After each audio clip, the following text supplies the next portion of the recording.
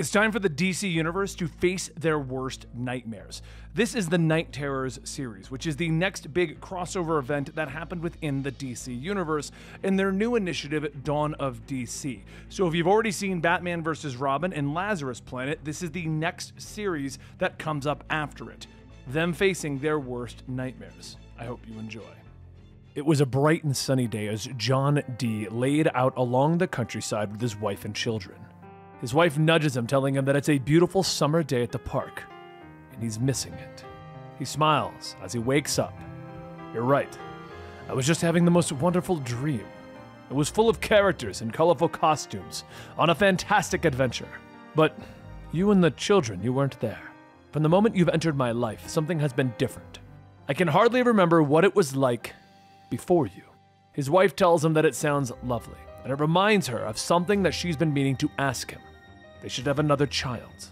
But as John is listening, his wife's words become distorted and twisted as mucus and maggots begin to pour out of her mouth. John Dee jumps up. No, no, this isn't right. But his transformed children run up, grabbing him. Father, let's play!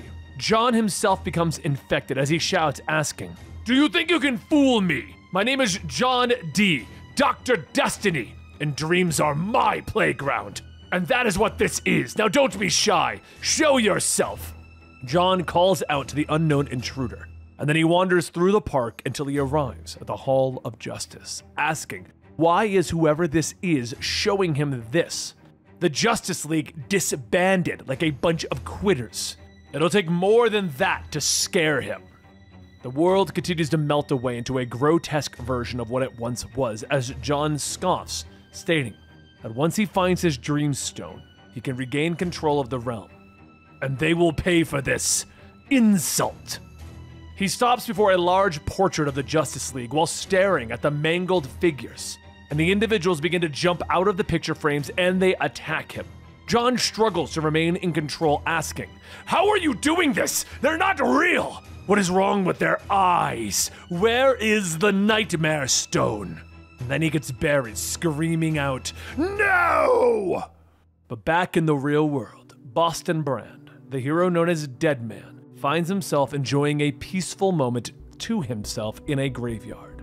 Deadman's whole thing is that he is a dead ghost whose entire purpose is to help the world of the living. And you would think that being deceased is as about as lonely as one could expect, but he reminds himself that he does get visitors once in a while. But today, something's different. The wind of death blows past, and he feels someone like him. Deadman follows the trail, and it leads him to Superman. But as anyone with eyes and a mind could tell, Superman is very much alive. Presence the Deadman is feeling isn't Superman, but it's following Superman. And now, so shall Deadman. Soon, Superman is called off by the League. Deadman stays close until Superman meets up with Wonder Woman. She too has a ghostly vibe, just as Superman does. She died recently, and she and Deadman got to spend some time together until she got better, and she left him here alone. But that's just another story of the living in the afterlife. She too has a ghostly vibe, just as Superman does. It's almost as if the two of them are haunted. Deadman continues to monitor the two of them as they go to the Hall of Justice, and immediately Deadman can see that there is something more crawling here, all over the place. They're not ghosts, but something from another realm is seeping into the world of the living. Batman then appears out of the shadows. Superman asks, why did Batman call them to the former Hall of Justice? Batman tells them that the alarm was tripped from the restricted area, and these three are the only ones with access to that location. The three head into the area unknown to most, and right away they see everything in disarray, along with a body strung up before them. As they get closer, Batman recognizes the man as John Dee, Dr. Destiny. Superman asks if someone is trying to send them a message, and if so, why would they kill Dr. Destiny? Deadman takes a closer look, examining the body, and realizes that this is what he felt. This is what is haunting the three of them. Whatever was here was searching for something. Wonder Woman asks, How did he get here? Superman says the last time they saw John Dee was when he was working with Deathstroke in the Dark Crisis event. John Dee was apprehended after that and brought to Arkham Asylum. But at that moment, Batman gets a call and asks, How did you get a hold of this number? Harley Quinn responds, Hey, Bats baby! I was stopping off at Arkham Tower for a few medical supplies, and they got a bit of a boo boo here. We need to talk about John Dee. Yeah, he escaped, we know. We're looking at his body right now. His body? What are you talking about? John Dee is here. He's having a violent nightmare. The doctors are doing everything they can to sedate him, and nothing is working. But if you want, I can try to wake him up with a pow right in the kisser. Batman tells her to wait. He'll be there soon. Superman says that if this is magic related, they should call Zatanna right now. Batman begins to leave, and Deadman yells, Wait, wait! And he attempts to possess John Dee's body, but he bounces off and he quickly sees that this is not magic, but something else. With a little choice left, Deadman jumps into Batman's body. Batman, please don't be mad, but hey, wait, it's not magic! Wonder Woman looks at Batman, realizing that he's convulsing, and he seems to be going into a seizure, but is in control and talking. Is that Deadman? Were you here the whole time? Listen, the realm of dreams and the world of death are connected. Related, you know? Like brother and sister or something. I'm picking up something primordial, real bad mojo. Something is, uh, sapping into something very powerful and very dangerous.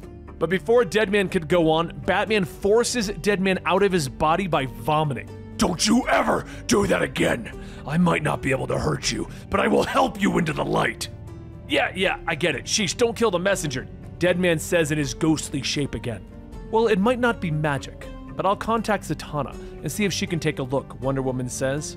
And I'll stop by Supercorp and get an idea if anything has changed on a cosmic level. Superman tries to help. Batman tells the others that he'll head to Arkham Tower in Boston Brand. If you're still there, follow me now. While everyone leaves the Hall of Justice with their own missions, a woman outside watches. And as everyone is gone, she grabs her phone. Ma'am, the Trinity has left Ground Zero in a hurry.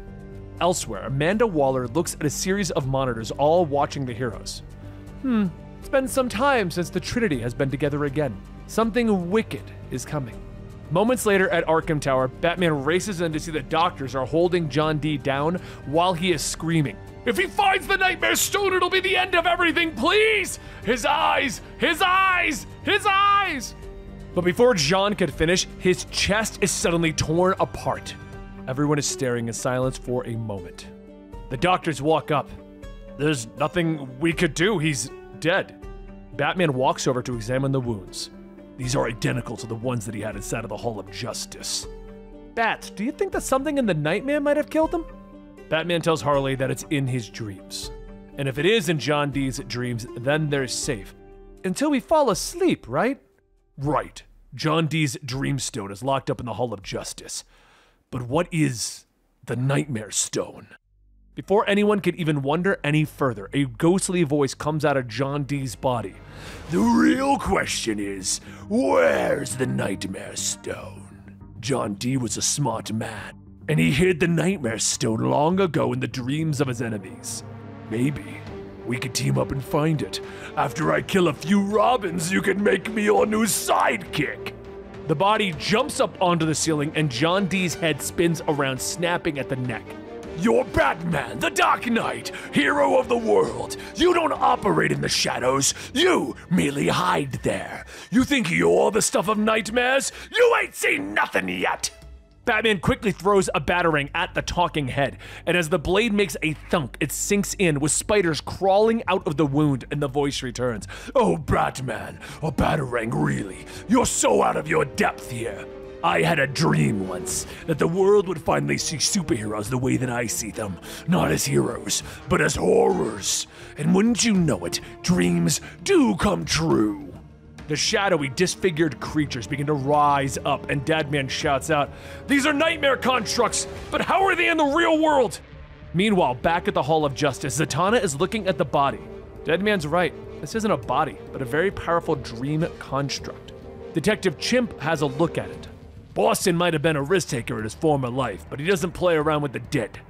We need to be careful. But the energy that attacked Arkham begins to lash out of the construct.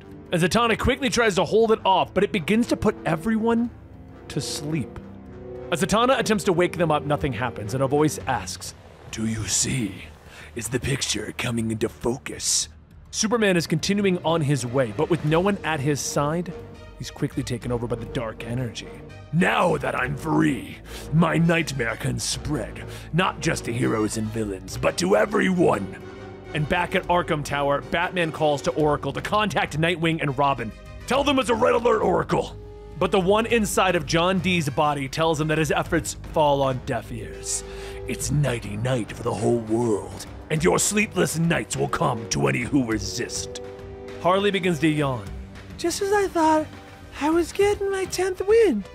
Batman, however, is resisting sleep as long as he can until he activates the emergency protocol. No sleep till Gotham. Suddenly, Batman's heart is shocked, giving him enough adrenaline to fight off the creeping sleep.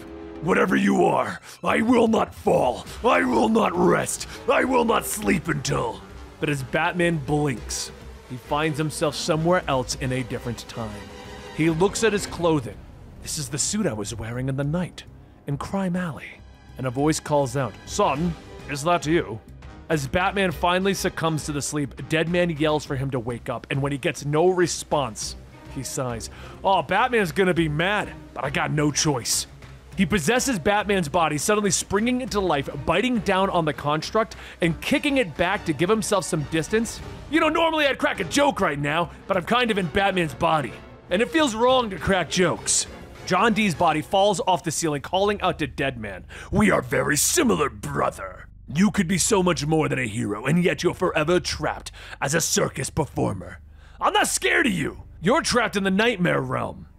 And the voice tells him, Guess again. You know how they say the eyes are the window to the soul. The intruder inside John Dee begins to carve out his eyes and rip away the flesh. He invites Deadman to join him to help him find the Nightmare Stone. The newly transformed being, stripped of its very essence, reaches out, grabbing Deadman. We can make the heroes pay for what they did to you. Now tell your good friend Insomnia, what do the dead dream about? Long ago, Batman learned that many of his foes would constantly try to get into his head, whether it's through their mind games or their concoctions. They wanted to use his inner thoughts to control him. As Alfred looks down at the giant container of water, he asks if Batman is sure that this will put a stop to it. Batman fits his rebreather, telling him that years ago, he studied in the caves of Nanda Parbat. He learned how to isolate his fears, but he must take it a step further. He knows his fears. Now he needs to know how to keep the others from using them against him. Alfred asks if he's sure that this is a good idea, forcing himself to do this.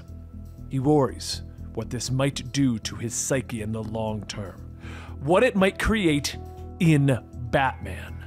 Batman pulls down his visor, telling him to only give him 24 hours, and at that time, wake him up. Do not jump in before that. As Batman floats alone in that container, he re-watches the moment that his parents died over and over and over again. The movie The Gun Joe Chill. Bang, bang, bang. He emerges from his isolation, throwing the rebreather, shouting, I told you to only pull me out after 24 hours. And Alfred stares with a worried look. It has been 24 hours, sir. Batman rolls onto his back, coughing. I'll never be over that night that Joe Chill killed them. No matter how many times I witness it, nothing will ever take the pain of that night away except for the end of my mission in Gotham. But hopefully, this experience will come in handy someday. Now we cut to the present day.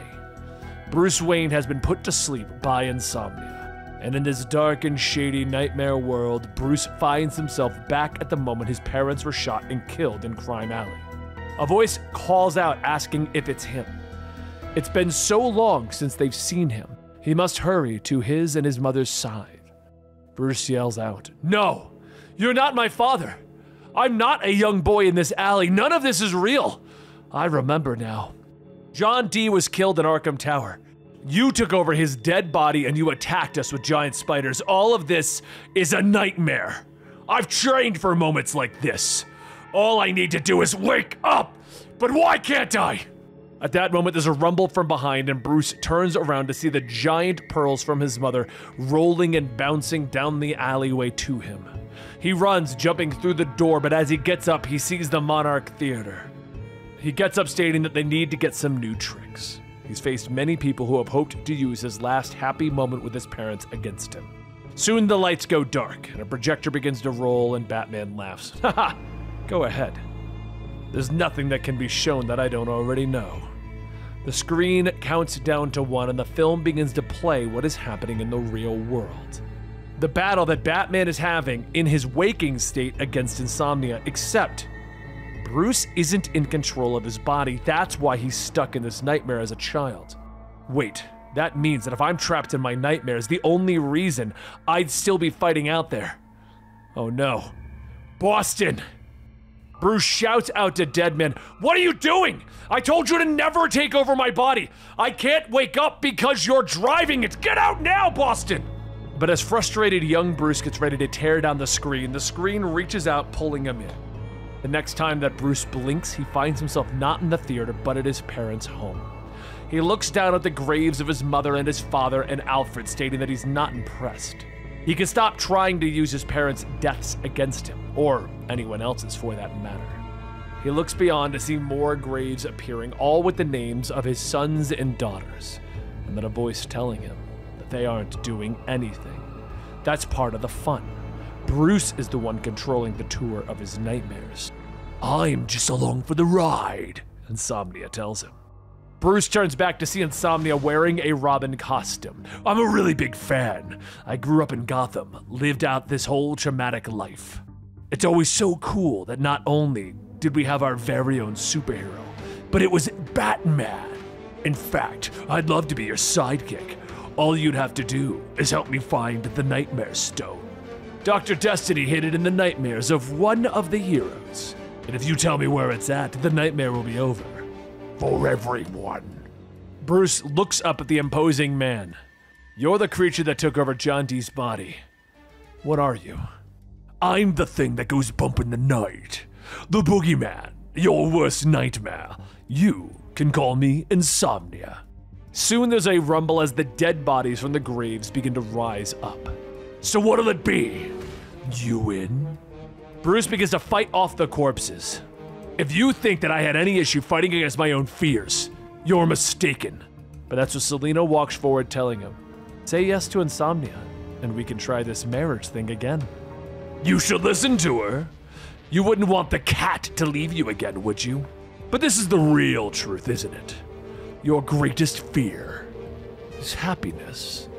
Bruce smacks Insomnia's arm away. I am not afraid of being happy or of you. I face down the Joker, and you are not. But before Bruce could finish his sentence, he begins to cough. Oh, oh, what's that? Does the cat have your tongue? Or is it something else? Bruce continues to choke until something rises out of his throat until he coughs out a giant thing. Bruce begins trying to regain himself, and he sees the thing that came out of him was a giant bat with a gun for a head. The bat screams as it starts to shoot at him, and Bruce runs. What is that? When you became Batman, you turned yourself into a creature of the night. You transformed yourself into a symbol of nightmares. But now the nightmare has a mind of its own, Bruce. Bruce begins to try and outrun the bat gun monster until he's finally hit, and Insomnia bursts out laughing. bang, bang! How's it feel to have your own darkness turned against you, Brucey? Bruce begins to pick himself back up. You know, I should thank you. I actually felt that, and it freed me. I know what I must do now. I have to go deeper into my own nightmare, into my own mind, to regain control of my body from Deadman. The now fully grown and fully armored Bruce Wayne stands up, throwing a pair of batarangs at the bat creature. And once I'm done, I'm coming for you, Insomnia! Insomnia laughs. you are making a big mistake. You keep bringing fears. I am no Jonathan Crane. It's been said before, but you're the one building this nightmare. You have lived in the darkness. You have thought some of the worst scenarios known to man. If you go too deep into your own mind, Batman, there's no telling what you might find. Bruce travels down into the dark cave, into his inner nightmares, and he's transported once more. When he looks around, he finds himself back in Crime Alley. Except he is Joe Chill. He points the gun at his own father. No, no, no, no, I'm not in control, I'm not! Bang. That is the conclusion to part one of Batman's worst nightmare. But as a backup in this issue, we see what Damian is doing, so let's go into Robin's worst nightmare. As the winds die down on a temple in the desert, the old man is sitting inside opening his eyes, saying that only a small number of people are mad enough to brave the sandstorms. Have you come to kill me, Damian Wayne? Damian steps in. My grandfather used to speak to me in whispers, a master of sleep and dreams. I'm sorry about Ra's al Ghul's passing. He was an old friend, but what do you want? I had a nightmare. At first, I thought it faded from my thoughts, but I knew better. I kept searching my mind, and all I get are images. Images of a man traveling across the dreamscape in search of something. It's like it's on the tip of my mind, hidden away from me. We must use whatever resources there are to unlock my dreams. I have to understand what's been shown to me so that I may defeat it. The old man grabs a handful of sand, pouring it into a small hourglass. What you're asking for is dangerous. The land of dreams is a sacred place. Your grandfather tried to learn how to access it and he failed, and now you have exactly one minute to prove yourself in ways others before you could not. At that moment, a group of ninjas appear, and Damian gets to work quickly dispatching them. As he stands back up, he looks at the old man. It would really be in everyone's best interest if you stopped comparing me to everyone. The old man stands up and begins to walk. The books are this way. You're just as annoying as your grandfather was. Damian begins to look through scrolls and parchments, trying to discover ways to unlock his dreams. But he learns that he must sleep properly first. Damian looks at another scroll depicting an image of Insomnia fighting and defeating Deadman. Wait, this! At that moment, Batman calls out over the comms that they have a red alert. Emergency protocols. Activate no sleep till Gotham. Damian turns to leave, but suddenly the energy that Insomnia used to put the world to sleep washes over the temple. The old man says not to worry. They have trained for decades. The Nightmare Stone and its powers will have no effect on. Damian tries to fight his way towards the old man, but before he can reach him, he falls to the ground. Moments later, Damian opens his eyes. It worked. I can stay awake. And I remember my nightmare. I must find my father, and then insomnia will pay. The world has become a dark and twisted version of itself, as insomnia has put everyone to sleep with his nightmare wave. And now the heroes are trying to wake up as they fight their greatest fears. But for one man who can't sleep, Deadman is forced to face insomnia alone as he possesses Batman's body in an effort to try and fight insomnia. Insomnia just has one question for him Will you join me and help me find the Nightmare Stone so that you, Deadman, can dream of a happy life? As Insomnia's grip tightens around Batman's throat, Deadman tells him, I thought you were a ghost like me, but you're not! You've got me all figured out then, huh? Come on, where did John Dee hide the stone? Is it in the waking world or is it within the nightmares of one of your so called heroes? Deadman manages to break free. If you're from the dreams, how are you in the real world? What are you? Can't you tell already? I am the god of nightmares. I can not only bring your worst fears into reality, but also everyone else's. And don't worry, it'll be fun. The doctors of Arkham mean well. They only wish to help. Insomnia says, referencing the mangled creatures coming out of the Arkham staff, as Deadman in the body of Batman is battling Insomnia in Arkham Tower. These monsters all tackle Deadman, but Deadman knows that he can't hurt them. There's still people in there, living their own nightmares. However, there is something else a door. And it has the same haunting feeling that was present at the Hall of Justice. But for now, that door, it has to wait, because Deadman has to stop insomnia, and he knows just how. For a brief, unguarded moment, Deadman leaps out of Batman's body and straight into Insomnia's. What are you doing? Let's just see how much you like having your mind invaded. As soon as Deadman enters Insomnia's mind, he begins to see images. He discovers that the Nightmare Stone was created long ago by a sacrifice, a tormented hero, and a long lost cause. Dr. Destiny used to possess the Dreamstone, but John Dee stole it and manipulated it into something broken and twisted. But he feared this Nightmare Stone that he had made, so he hid it. Insomnia is now looking through the nightmares of heroes and villains for any clues as to where it was, and he started here, in Arkham Tower. Deadman looks around at the tower before all of this happened. But something was different. He's back in time. He sees where this started, and he feels the rain. But he realizes this rain is green. This rain is the Lazarus rain. Lazarus Island erupted, and it brought down the rain that was cursed with magic. It changed people, gave them new powers, but it also changed insomnia. His powers didn't come out of any nightmares. It came out of being exposed to the Lazarus rain. He's one of the monsters that was created in the battle against Ra's Ghul, and it gave him the ability to spy on people's minds as they slept. At first, insomnia started with the other inmates of Arkham, like Dr. Destiny, which is when he discovered everything he needed to know. He was then able to spy on the heroes, except in his dreams, the heroes are the monsters. But why? That's when Deadman realizes that there is something more. That Insomnia is hiding something, a light, a memory buried away. And it feels like joy. Insomnia screams, pushing Deadman out of his head. Oh, that's rich. You get to invade the minds of others, but you're the big no no? But that's the confusing part.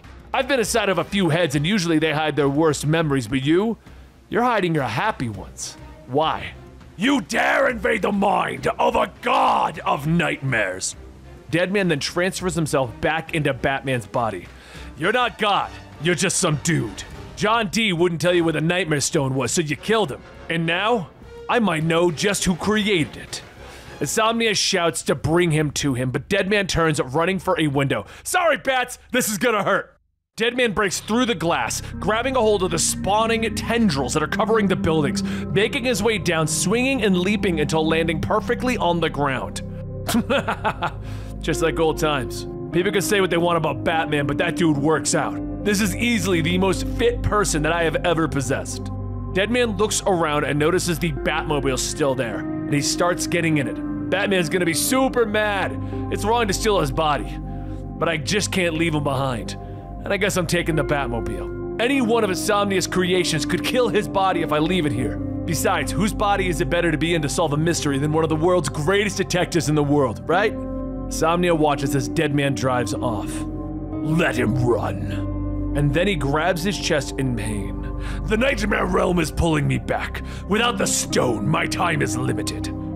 Insomnia waves his hand to create more nightmares, stating to rise his sleepless nights and follow Deadman. While I watch the nightmares of Deadman's friends, you will search for the Nightmare Stone in the land of the living and kill any and all who are still awake. A short while later, Deadman arrives at his destination, mulling over the fact of the one clue he had from his encounter that it was the Lazarus rain that created insomnia. Most of the Lazarus rain was wiped off the face of the earth. It does everything from give people new powers to reviving the dead. But thankfully, Batman kept a small amount of it. Deadman looks down at a grave. This is feeling a bit morbid, even for me, but I need some help and some answers. Soon a hand breaks free out of the stone coffin, and the old, decayed body begins to climb out. Sorry about this, but the world is in danger. A lunatic has trapped the world inside of their own nightmares, and I'm searching for something called the Nightmare Stone. It's going to be up to us to find the truth and stop him. I promise. Once we solve this case, I'll. But after handing over a hat, a gas gun, and a gas mask, Sandman tells him, Say no more. I've always loved a good mystery. After rising from his grave and putting on his mask, Sandman looks up. You're not really Batman, are you? How do you know? Deadman asks. Well, you're a ghost possessing the body of a man who dresses like a bat to fight crime talking to a resurrected hero from lifetimes ago who had prophetic dreams about crimes to come. And that is what you question? And I still don't know why I was resurrected in the first place. there's a mention of a man named Insomnia. Deadman begins to explain what has happened. How the world was hit by a nightmare blast in search of an item called the Nightmare Stone. And while inside of Insomnia, there were glimpses of Sandman inside. Do you have any idea why? Sandman sighs. I remember the Nightmare Stone. It was a bad case, one that haunted me. At first, it was a cult who worshipped some god of nightmares, you know the kind, all about sex and money. And then it took a nasty turn.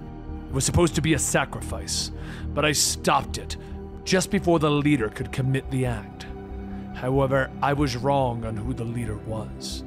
Turns out the one being sacrificed was the real leader, and he finished the job.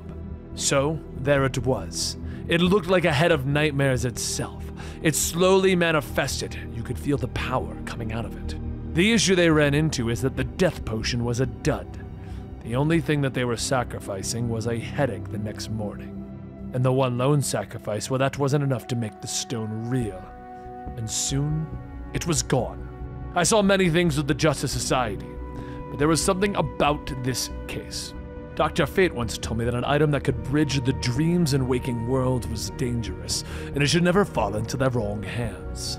Deadman looks at him. All right, that should give me enough to work with. Now let's get you back in the grave before you start craving brains. Didn't you hear me? That case has haunted me. I have a certain responsibility to finish this.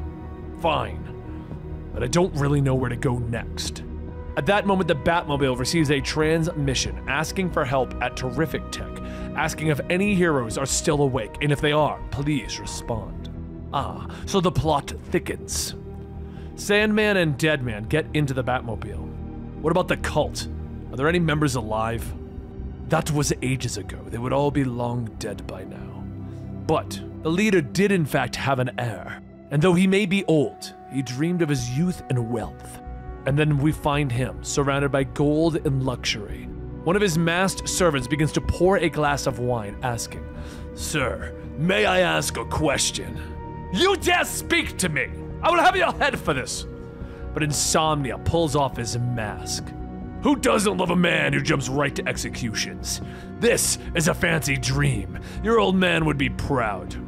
The young man says that his father has been dead for almost 80 years, and Insomnia says, Your daddy attempted to capture a piece of living horror. Where is it?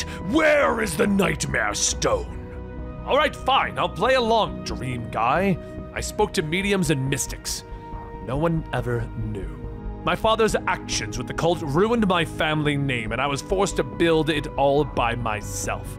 Oh, I'd imagine the $20 million trust fund he left behind had nothing to do with that. Your father only wanted the stone to increase his wealth. So, if you want money, have at it. Insomnia begins to force feed the young man bags of gold coins over and over until finally his body explodes with wealth. With another dead end, Insomnia sighs. It's not here. Where oh where did you hide it, John Dee? Sleepless knights. Find dead man. Maybe my new partner is having more luck finding it. A short while later, over at Terrific Tech, Red Tornado rushes in asking, Batman, how are you awake?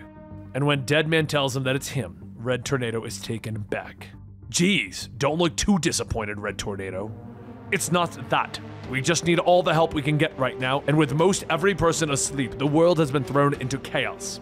As Red Tornado leads Deadman and Sandman into the next room, Mr. Terrific floats in a tube, and Red Tornado says that even the smartest man fell victim to the attack. But it's much worse than this. These readings show that everyone's minds are sinking deeper and deeper into their comas. The longer the world spends in the nightmare realm, the less connection they all have to their bodies. Eventually, there won't be anyone left to wake up. Deadman thinks about it. Insomnia was freed from the nightmare realm. It must have released a lot of nightmare energy. But he wanted this so he could be searching for the nightmare stone. Then he shakes his head. This is too much for me. I'm just a ghost, and before that, a trapeze artist. I'm not really the type to save the but that's when he suddenly screams, falling to his knees. Sandman runs over asking, What's wrong? Deadman gets up explaining that when he tried to enter Insomnia's body, it left the two of them connected. and Deadman can see Insomnia's nightmares. Soon there's a shift, and Deadman is brought into Insomnia's dreams, or rather, his past, just before the Lazarus rain fell, just before he got his powers. The doctors felt that they should try and give Insomnia an awake day so that he could try and get some socialization in. And who better to pair him up with than John Dee? Considering they both struggle with dreams and reality, it might do them well. As Insomnia is wheeled to the table with John, he mutters to himself about how his dreamstone was stolen from him. Insomnia sits there listening while he hears over the news that Black Adam has crashed into the Hall of Justice and announced that the Justice League are dead. It seemed hearing the hero's demise was the only thing that could make Insomnia happy. That was until the news anchor informs them all that the Justice League has returned, alive and well. This set off something in Insomnia as he stood up from his wheelchair, throwing things, shouting, What? Why do they get to come back from the dead and not us? What makes them so special? I will not rest until the whole world sees the Justice League for what they are.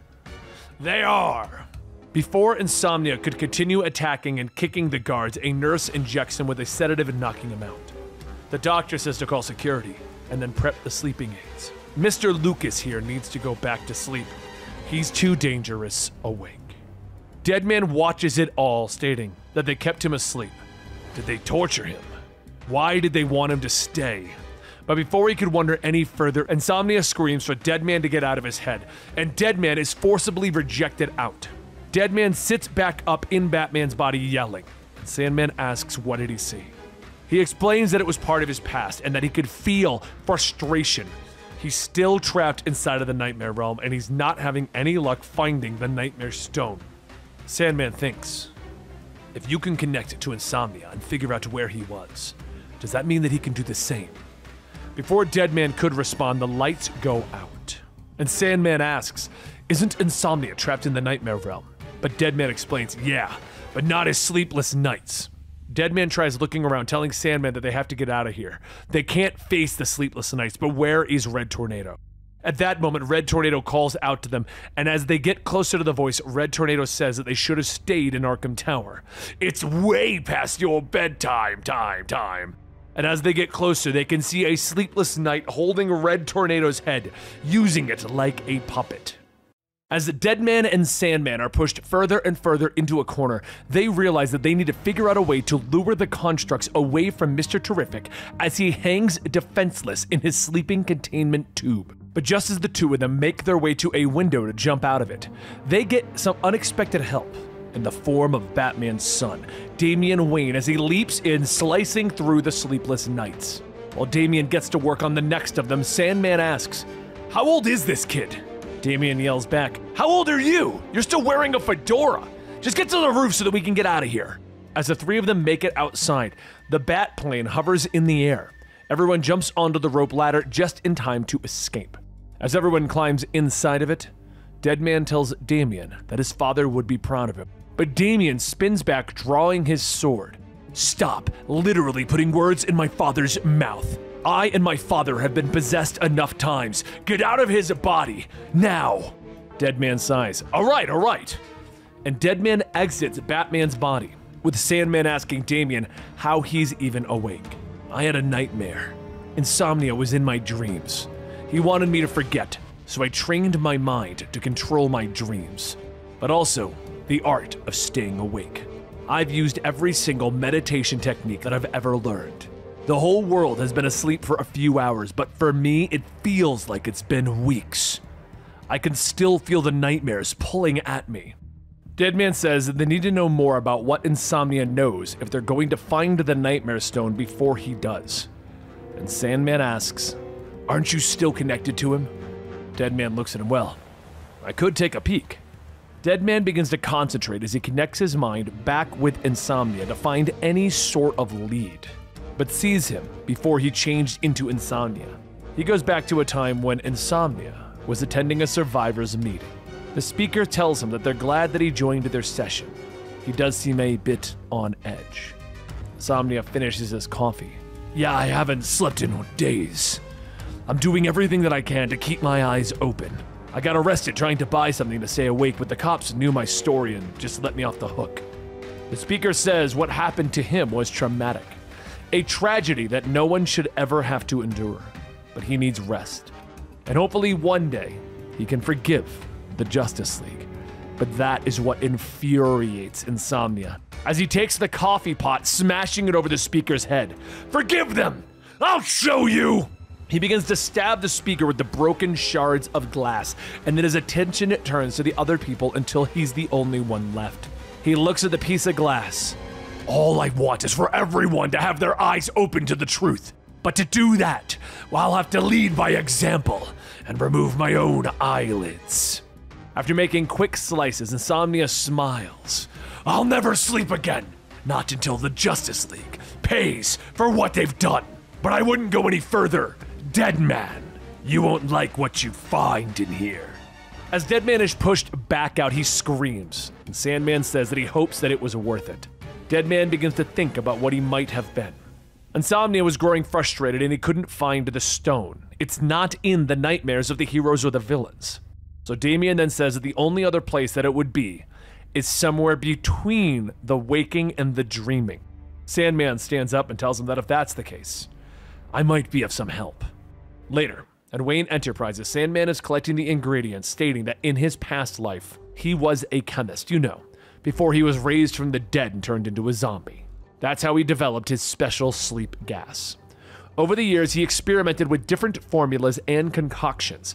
Some of them could put people into comas, and others could manipulate the dreams and the nightmares. Now, this formula will put them all into a state where they're not quite awake, but they're not quite dreaming. Are you sure you want to do this, Damian? Damian tells him that if Deadman fails, which is likely, he will continue. This is partially his fault anyway. And Deadman tells him, Well, I can't argue with that. As Sandman pulls the trigger, the room begins to fill with a blue mist, and just as the Deadman begins to ask how long it's going to take, the two are transported to this new realm. But while Sandman sets them down, one of the sleepless knights bursts in. Ah, oh, crap, I thought I'd have more time. Now it's just me alone against a nightmare. On guard! Meanwhile, elsewhere, Damian lands on the ground of this new place asking, Is this the in between, empty and limbo?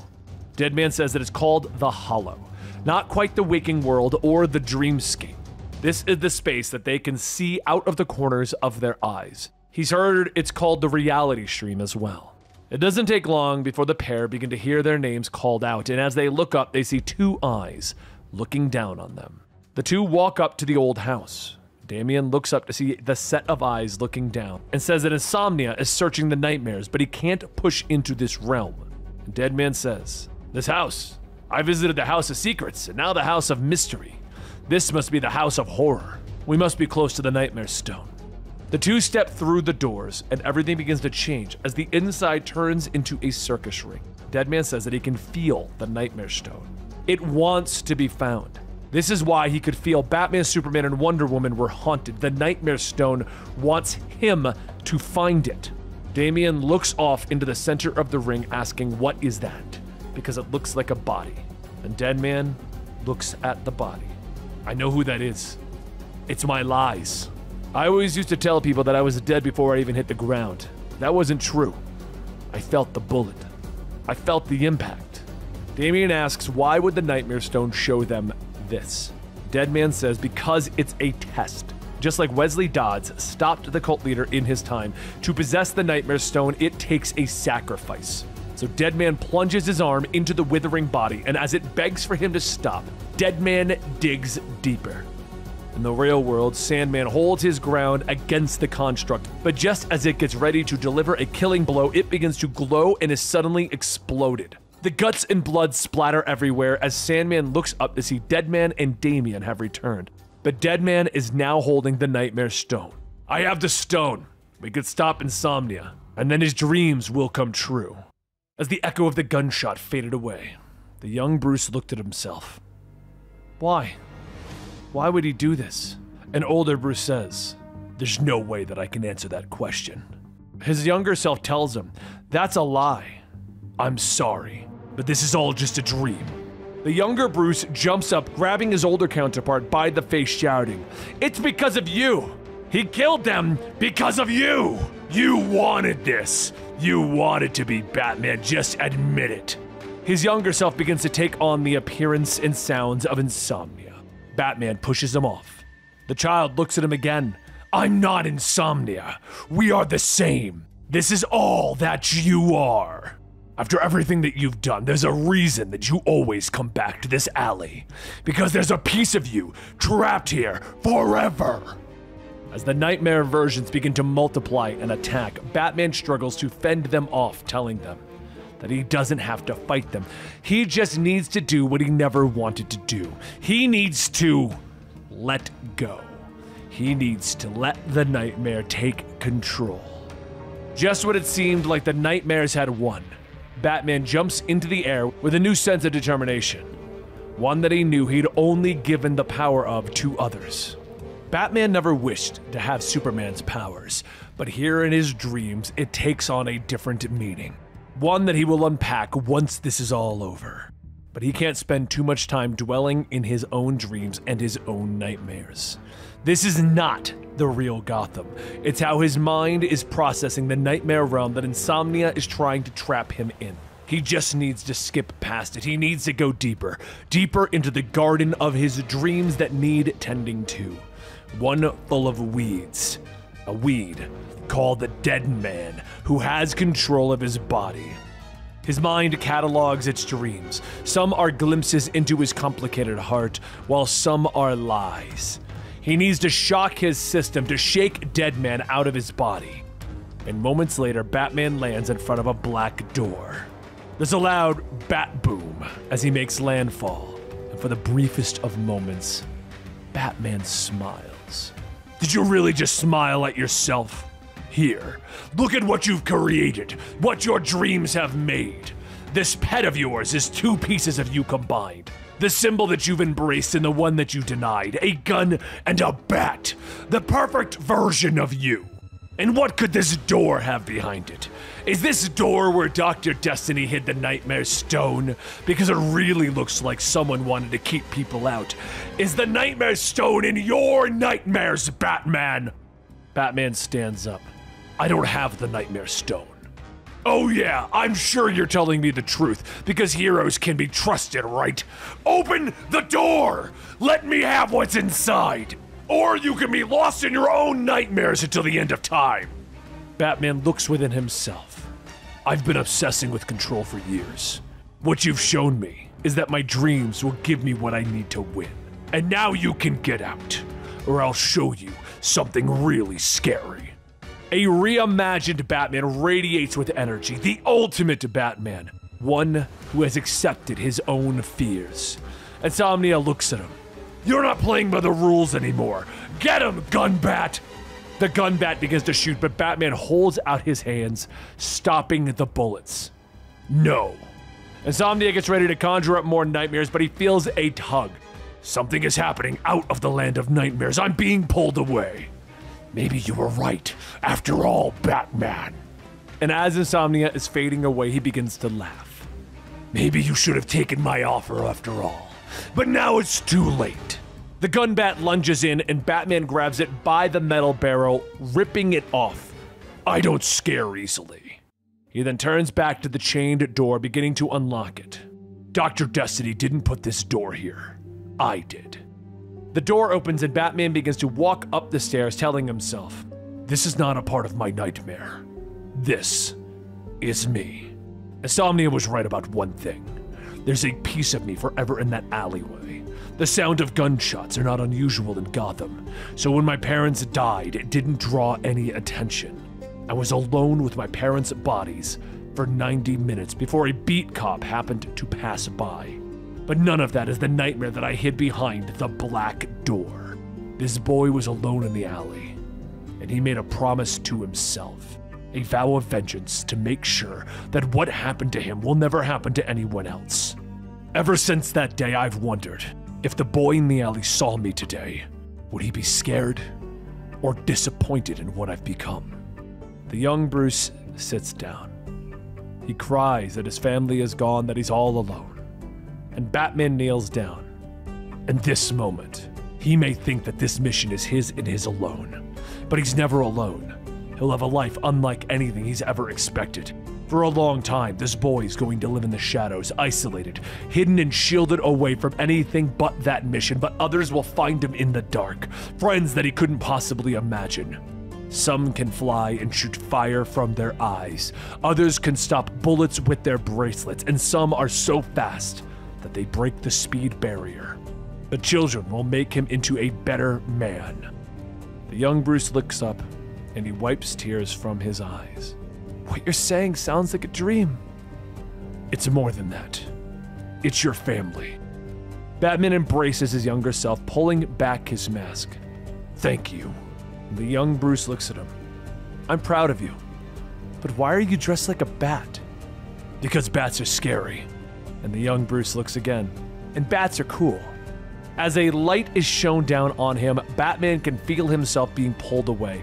It's like Deadman isn't in control anymore, Batman finally is, when suddenly there's a voice shouting for him to wake up, and a glimpse of Zur-En-Arrh, the psychotic Batman within his mind.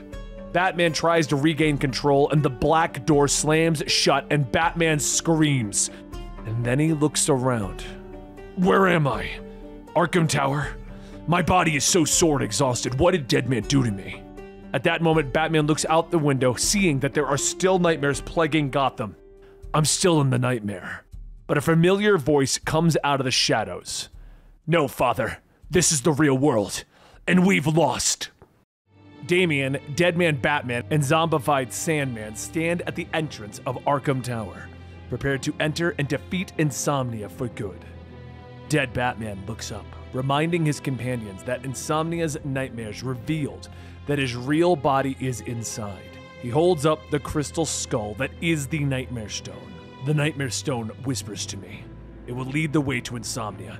It wants me to purge the powers from his body and free everyone from his control, Dead Batman says. The three heroes enter the tower. We're entering the Lion's Den, where insomnia holds the most power. It's best that we all go together, Sandman reminds them. But instead of a nightmare realm, the three heroes find the inside of the tower is quite clean and bright. It throws them off. Elevator or stairs? Sandman asks as he motions through the lobby. The three of them begin to climb the stairs, and as they make their way up, Damian stumbles for a mere second. He puts his hand on the rail, and dead Batman turns back to him.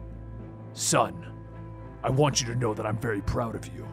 Batman explains that Deadman left his body and he went on ahead, believing that he could defeat Insomnia alone.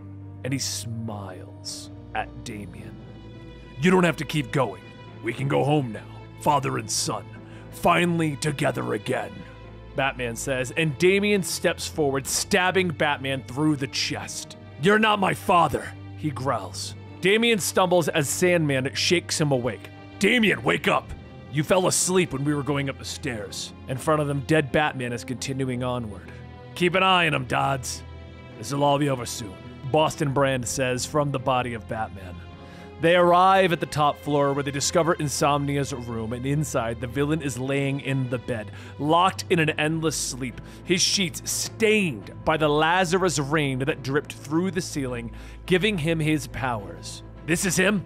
Damian asks, and Boston Brand nods, explaining that he was a killer who refused to sleep for fear of his nightmares. That's when he was committed to the tower. The doctors then induced sleep into him.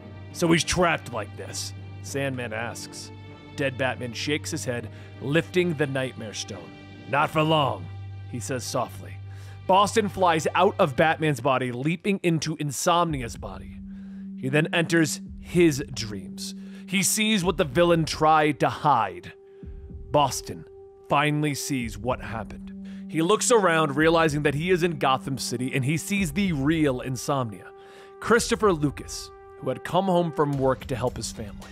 Their neighborhood had been ordered to evacuate when the Justice League was fighting against the evil Batmen in Dark Nights Metal. Lucas' son was rushing into his arms when the building came down around them. Lucas was pulling himself out of the rubble when he realized that his wife, two sons, and daughter had all been crushed. He screams for the Justice League to help him as he tries to dig through the destruction, but they never came. Deadman looks at the horrible scene as Lucas falls to his knees, crying. I'm sorry.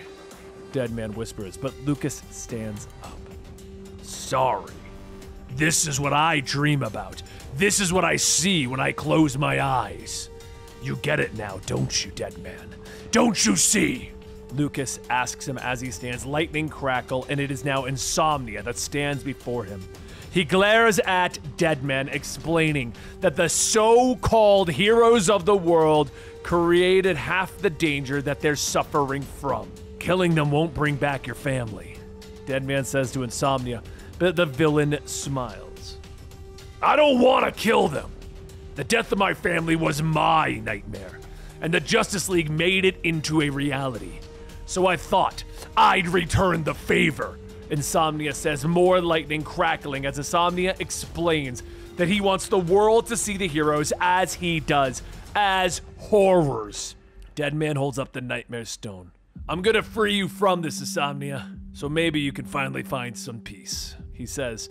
But Insomnia laughs, explaining that this was all by design. He showed Deadman the clues that led him to the Nightmare Stone. I wanted you to bring me the stone! Did you forget the rules of this whole game?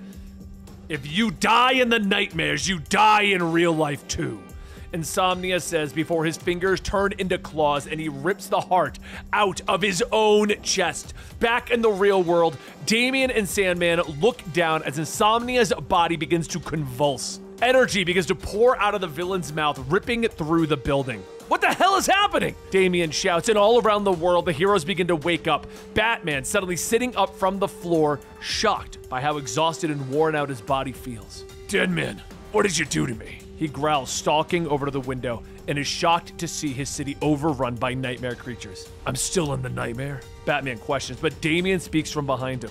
No, father, this is the real world, and we lost. He motions out the window, explaining that this wasn't about finding the Nightmare Stone.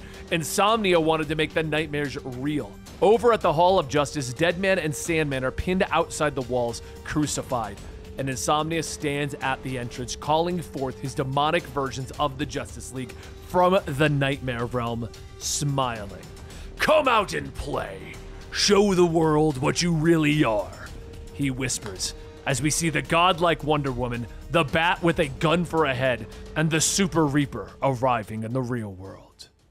As the world was put to sleep, the heroes began to dream. Except those dreams were so real that they became nightmares. And for Barry Allen, it was another day at work. While collecting evidence at a crime scene, Barry thinks back to when Iris found out his secret. She didn't ask the usual questions like, can he outrun Superman? Can he eat whatever he wants? Instead, she wanted to know how he saw the world. At first, he didn't know how to answer. How could you describe the color blue to someone who's never seen it? And that's when it hit him. He told her that it was like a dream. Because in a dream, everything runs together, everything repeats. Simple objects become charged with meaning. People you've known your entire life greet you as strangers. Every clock is set to eternity. Iris looked at him differently after that. Till one day, she asked him how he could tell the difference between being awake and dreaming. He told her that he was a scientist. He gathers data and he works the angles. She didn't seem satisfied with that, so when she pushed, he told her the truth. When you're awake, you can stop running. But while working, Barry receives a call from Iris telling him that he needs to come to the Van Buren Memorial. He asks if everything's okay, is she hurt? She says that she's fine. It's Wall. But before she can even finish stating Wally's name, Barry races over asking if Linda is there, and Iris sniffles, asking, Who's Linda? Barry begins to respond, wants to tell Iris that that is Wally's wife, but he stops himself asking, What happened? Iris tells him that Jay said that Wally took on Grodd by himself. What was he thinking? Barry is stunned. I just went for milkshakes with him a few hours ago. Jay then walks up, stating that it happened on his side of the bridge, on his watch. If only he'd been faster. If he hadn't blown out his ankle on his way to get to Wally, maybe he could have. Grodd has gotten his hands on the Spear of Destiny. Haven't seen the wretched thing since him and Ted went after the Dragon King. He was using it to amplify his telepathic powers, the usual routine. But when Kid Flash got in his way, they say that Kid Flash slowed down. Barry rushes over, grabbing Jay. You let him fight Grodd alone? Barry, I got there as fast as I could. We both know what Wally's capable of. The kid's like a ramjet. You should go see him. He's been asking for you. It's bad. Barry pushes open the door to Wally's room, and he can already tell how bad things are just from the breathing. It's ragged, it's shallow. It's the most unnatural sound that he's ever heard. He can hear Jay going on about how they say the doctors can't stop the bleeding. Barry begins to question himself. How could he let this happen? How could he let Wally even put on this costume? And why is he expecting it to be red? This is the Kid Flash costume. It's yellow. Why is red on his mind? Barry pushes the thought out, telling himself not to panic. Remember, solutions can always be reverse engineered from the problem itself. Wally coughs. I, I let you down. I was too slow. And Barry reaches out, telling him not to worry. They'll get this all straightened out. Wally says that it was the Speed Force. The Speed Force was wrong. There was something burrowed into it like a tick. I saw a monster in the lightning. Barry then races over to Iron Heights where Grodd was taken after the fight, asking for Warden Jeffries. But Warden Wolfe tells him that Jeffries was before his time. And they've already met several times before. Barry shakes his head. Right, of course, it's been a long day, Wolfe. And should I be asking why there are bloodstains on the floors of the cells here? Wolfe says that that's just the latest prisoner fad. Some of the guests have been cutting off their own eyelids to stay awake. Though Lord only knows why. It can really mess with your appetite. Trickster, one of the inmates who removed his own eyelids, grabs the cell doors, yelling out, Hey, we, we need you to settle a bet, Flash! I bet Snart five cigarettes that we disappear when you sleep. Snart says that it's the other way around. Which is it, Flash? Are you dreaming us? Or are we dreaming you? Barry stops for a moment to almost entertain the question, but he walks off, telling him that he doesn't have time for this. As Barry reaches Grodd's cell, Grodd scoffs, telling him, I was wondering when you'd show up. I'm here about the boy. Whatever you and your accomplice did, he's fading, and you're gonna help me fix him. Accomplice? Sorry, but you must be mistaken. Now, if you'll excuse me, I have some light reading to catch up on. Maybe I'll be in more of a talkative mood tomorrow. Barry begins to fill with rage. I need to know what happened! And Grodd sighs. Fine. The boy was running towards me, and I raised the spear defensively, fully expecting to hit air. And then the boy slowed. Ha! Happy accident, nothing more. Barry demands to know what slowed down Wally. He mentioned a monster in the lightning. Does that mean anything to you? I only know what you know. Isn't that how this works? But if there was something or someone cheering me on from the sidelines, do thank him for me, Flash. Anger sets in and Barry begins to vibrate his way through the door and begins to beat Grodd. And Grodd laughs.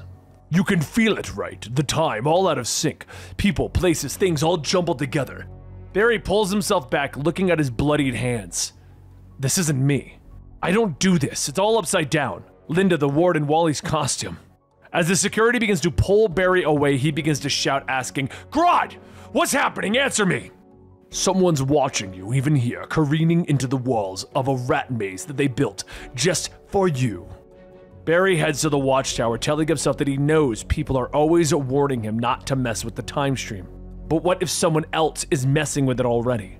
However, his thoughts are stopped as he's punched right in the stomach, and a voice says, Oh man, I'm sorry.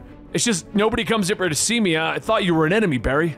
The green construct fades, and Barry wonders if that's Hal. A dead, burned, and decaying Hal looks at him. In the flesh! Well, some of it. What's with the look? Didn't anyone tell you? I saved the world! I absorbed the Sun Eater. It killed me. But I wouldn't know because I wasn't there. As usual, anyway, my heart stopped, but my will, it wouldn't quit. Pretty sure that's why the League put me up here. Who'd want this moldering old kisser plastered all over kids' lunchboxes, huh? I'm so sorry, but I need your help. We have to go back. Hal looks at the broken treadmill. Oh boy, cosmic treadmill, time travel. All right. Hal begins to put the missing pieces together with his ring, and as soon as Barry gets on, he begins to run. And he smiles. See you soon, buddy. Deeper into the maze you go. As Barry enters the vortex, he begins to feel someone watching. Everything is wrong, like the Speed Force is resisting him, as though something didn't want him to see. Something obscene. Barry pushes through, adjusting himself to different frequencies over and over until he brute forces his way back into the past. Barry skids into an alleyway as his body is burning and his suit is torn off. The Speed Force trying to yank him back, put him back where he belongs, but he continues anyway. He sees the moment that Wally fought Grodd and everything seems normal. Wally gets his shots in, Grodd gets his, but as Wally gets up to end it, Barry runs over to him to try and stop it. He doesn't see the monster, and even if there isn't a monster, even if this breaks the world, he has to keep Wally safe. He promised Iris, he promised Jay, he promised himself. He acts, but he fails all the same. The spear pierces Wally. is that you, Barry? I, I was too slow. Did you see it? In the lightning? Barry reaches out, but the Speed Force begins to pull on him. He can't fight it as it drags him back, but as he re enters the Speed Force, he can see it. He can see the monster and the lightning. Time after time, attempt after attempt, but each time, Flash's hand was just barely missing. Each time, Grodd plunged the Spear of Destiny into Kid Flash. And with every try, the effects of overexerting himself and the twisted nature of the Speed Force begins to take hold. It begins to transform the Flash into something else. After the last attempt, Flash forced himself to stop. He needed to come up with a new plan. When Iris saw the changes that were actually happening to him, she said he looked terrible. His face was a mess. She asked where was he. Flash told her that he was fixing things and Iris shouts, asking, Does it look like you fixed Wally? What we need now are doctors. Flash tells her no. No doctors. There's a friction in the Speed Force now because of that thing. Some sort of resistance, and my body is compensating. Iris looks at his blistered skin, telling him that he needs to stop. He just needs to stay here. Be with Wally before. You can't. But as Iris leaves, Barry's mother steps in and he asks what is she doing here. She can't be here. Nora says that the nurse out at reception said that she could come right in. Flash tries to explain why Nora West being here is wrong, but he says, never mind. I'm just glad you could make it. She then says that the real question is why is he still here? There's a way to make this right, and he's going to find it. Flash tells her that he tried, but she snaps at him, telling him to try harder, to go faster. Nothing is over until he says so. Understand? He stands up, hugging her. Yes, ma'am. And she hugs him back. But Flash doesn't see who his mother really is, because in fact, it's insomnia steering this nightmare. Good boy. Now run. At that moment, it hits him. And he begins to think of it all backwards. He shouldn't be going back, he should be going forward. The only way that he can do what is needed is with the help of Hal Jordan. Flash skids into the watchtower, telling Hal that they need to try something. They're going to propel him forward in time, and he just needs a little more speed. Hal looks at the Flash and the changes that he's endured, this new monstrous Hulk like body that he has. You can't. This has already had negative effects on you. Hell, you're making me look good, Barry. The regret connects before the punch. Flash is moving too fast to pull the punch, and before Hal could even see it coming, he is hit so hard that his body bursts into pieces. The fleshy bits hit the ground with Hal asking, What the hell, man? And Flash tells him to pull himself together. He said it before, he needs more speed, and he's going to help him get it. Moments later, in the 25th century, Eobard Thawne is giving a tour of the Flash Museum, explaining the principles of Captain Cold's cold gun when there's a loud cracking a interrupting his lecture. In the other room, the Flash kneels down, picking up the Spear of Destiny as Eobard asks him, Is this what you came for, Barry? The weapon that killed the original Kid Flash? Flash tells him that taking down Grodd with his own weapon, it'll have a pleasing symmetry to it. Eobard begins to put on the Reverse Flash costume. That spear corrupts whoever wields it. We both know it, buddy. But seeing the way you look now, I'd say the damage to you is probably already done, you hulking monster. You should know that tinkering with the timeline never comes with good results. Now put back the spear and. But the Flash smiles. I'm not here for the spear. I'm here for your speed force. The two begin to move at such furious speeds, they exchange blow after blow until Eobard finally gains the upper hand, pinning Flash down. He reaches for the spear, asking, why are you so broken? I would like to know why the fastest man alive misses everything. I'll tell you it's because But before Eobard could finish, Flash vibrates his hand inside of Eobard's chest. Eobard drops the spear.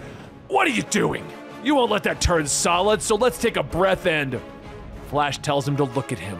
What does it look like I'm capable of at this point? At that moment, Flash rips his arm out, leaving his hand inside of Eobard's chest, absorbing all of the Speed Force energy. He stands back up, walking over to the treadmill, and when he stops, he looks at his reflection. He stares, touching his face with his claw like hand. What am I? But it isn't time to worry about those sorts of things. He decides he needs to run. With the spear in hand, Barry begins to run, and he runs so fast that he can feel his skin burning away. But he can't give up now. He travels back through time to the fateful moment that Grodd struck. And as he gets ready to prevent all of it, hands reach out, grabbing him. Flash struggles to try and free himself, yelling, No! I'm faster this time! How can they? He breaks away, stabbing at the monster in the Speed Force, hurting it enough to allow him to get ahead of it. And when he stops, he sees what it is. It can't be. He looks back at a mixture of limbs, bodies, faces of himself, begging him to fuse and lead them. It's a Barry Allen monster. No, I'm not like one of them. But the hands reach out once more and they begin to pull him into the fold. They begin to absorb him. The Flash screams, trying to fight free, but suddenly something calls out and he's pulled away. Two bodies tumble out of the Speed Force, and Flash has a moment to realize who his rescuer is. Wally? Wally tells him that he has been running in some kind of sleep trance for hours. No one could reach him. Flash gets up, grabbing Wally. You can't look at me, ever.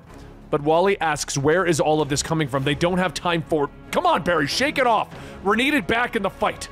Flash looks at him. Fight? What fight? Wally looks him dead in the face. Oh, Barry, I really need to bring you up to speed. When the nightmare wave hit the world, some noticed it before they fell victim to its eternal sleep. Hal Jordan felt the effects coming while aboard a flight with Carol. But as he rushed to the cockpit and opened up the door, he found that he wasn't on the plane anymore. He looks around at all the people in the funeral hall and he asks, What's going on? And that's when he hears his name called.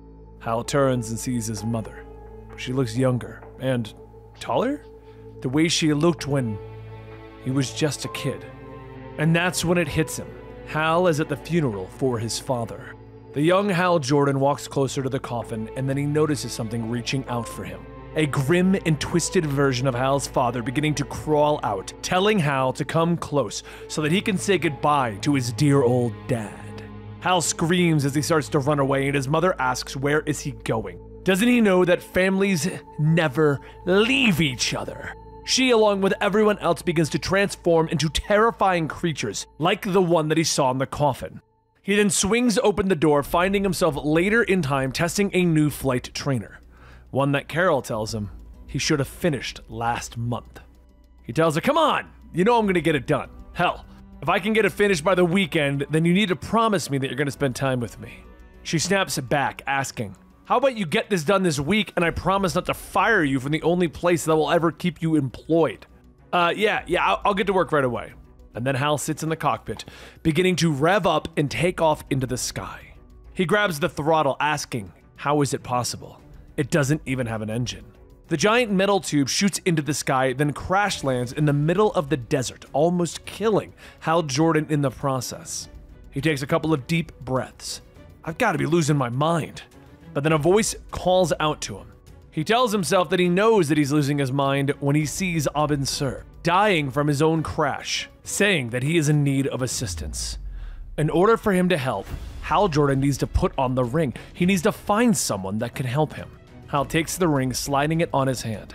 I'm honored, but I'm no hero. Just as soon as the ring is on, a sharp pain courses through Hal Jordan's body, and Abin Sur tells him, Of course you're not. Hal struggles with the pain, begging to make it stop, but Abin Sur tells him, Of course it hurts. It's supposed to. Tendrils then begin to extend from the ring back to Abin Sur. I just needed someone weak, someone the world would not miss, and it brought me you. While your life force is being drained, take some solace in knowing that your death was for a cause greater than your own.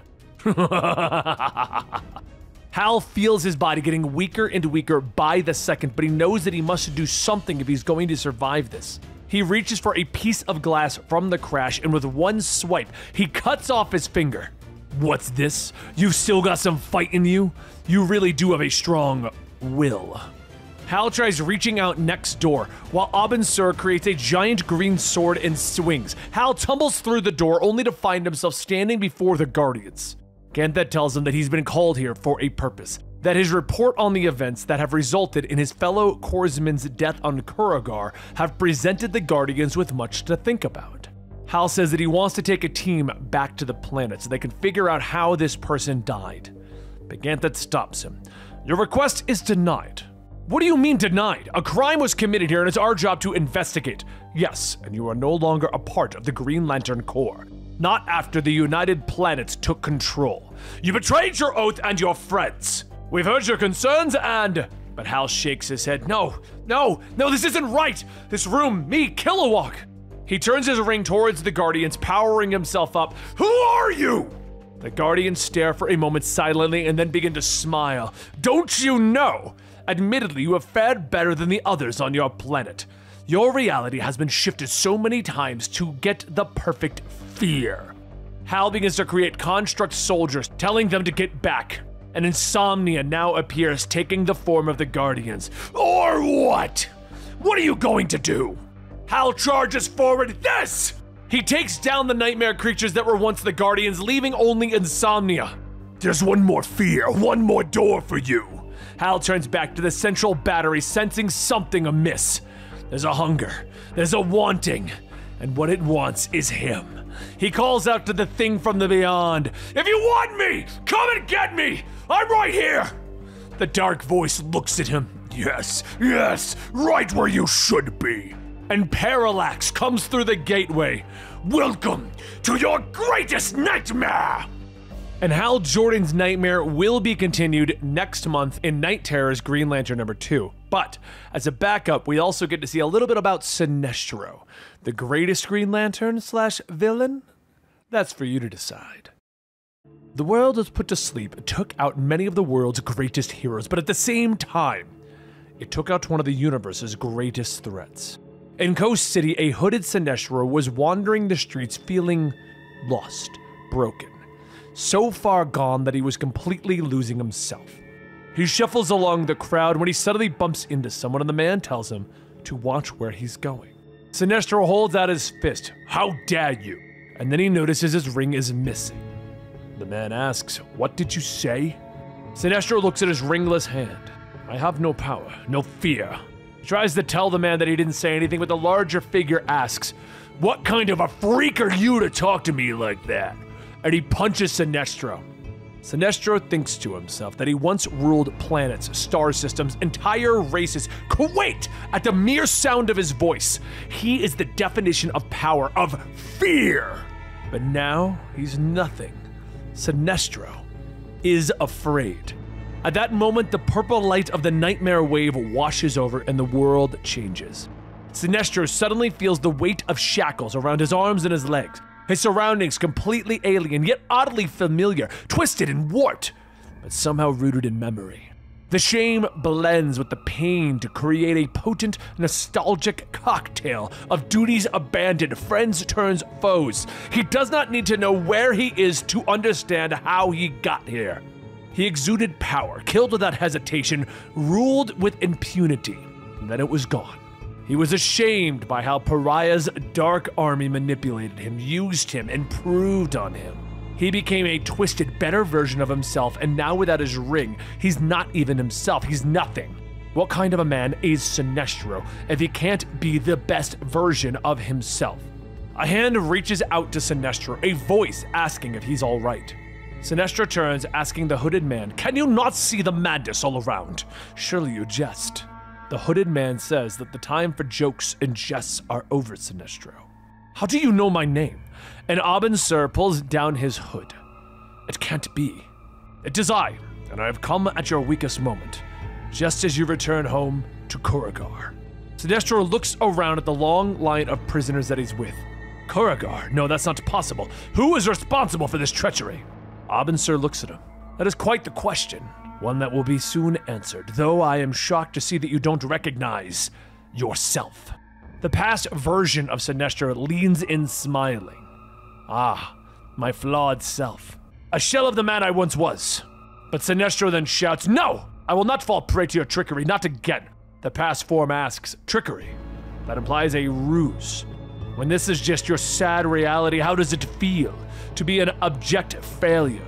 How often do you replay every moment, every decision, every wonder, and this is where things begin to fall apart? As the past self begins to change into a nightmare creature, Sinestro backs away. Never! But the past version laughs. What a sad end to a miserable lantern! Suddenly, the creature is filled with green light and it explodes, and Sinestro looks up at the glowing figure, asking, Are you Hal Jordan? The Green Lantern version of himself asks, Jordan? I've never heard of him. And as for you, you've certainly seen better days. Everything happened so fast, and before Hal could react, Parallax was already attacking, telling him, This is your hell. Hal is knocked into the ground, and as he gets up, I'm not afraid. Is that so? I can see into your mind the ghosts of the past, the memories. Or maybe I should change my form into one you're more familiar with. Hal looks at the being. Who, what are you? And Parallax smiles as the evil version of Hal Jordan that once stood against the DC Universe. I am your nightmares come to life. Your father's death. Worries that you wouldn't be the man that Abin Sur chose you to be.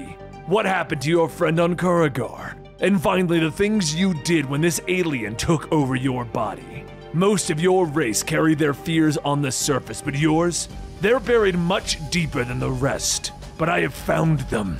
And now. Wait. Why are you smiling? Hal stands back up with a grin ear to ear. Oh, buddy, you picked the wrong planet and the wrong person to try and scare. My friend Kilowog once told me fear stood for false evidence appearing real. And those weren't fears that you found. They were moments when I was faced with a choice to worry about what might happen next or push the throttle forward. Parallax bares his fangs. You are nothing in this place. Beware my power. And Hal charges forward. That's my line. His ring begins to shine, and Parallax is engulfed within the Green Lantern's light. Hal Jordan swings as hard as he could, knocking Parallax down. Parallax crashes into the ground, horribly injured already. What are you? I'm the Green Lantern. Your worst nightmare!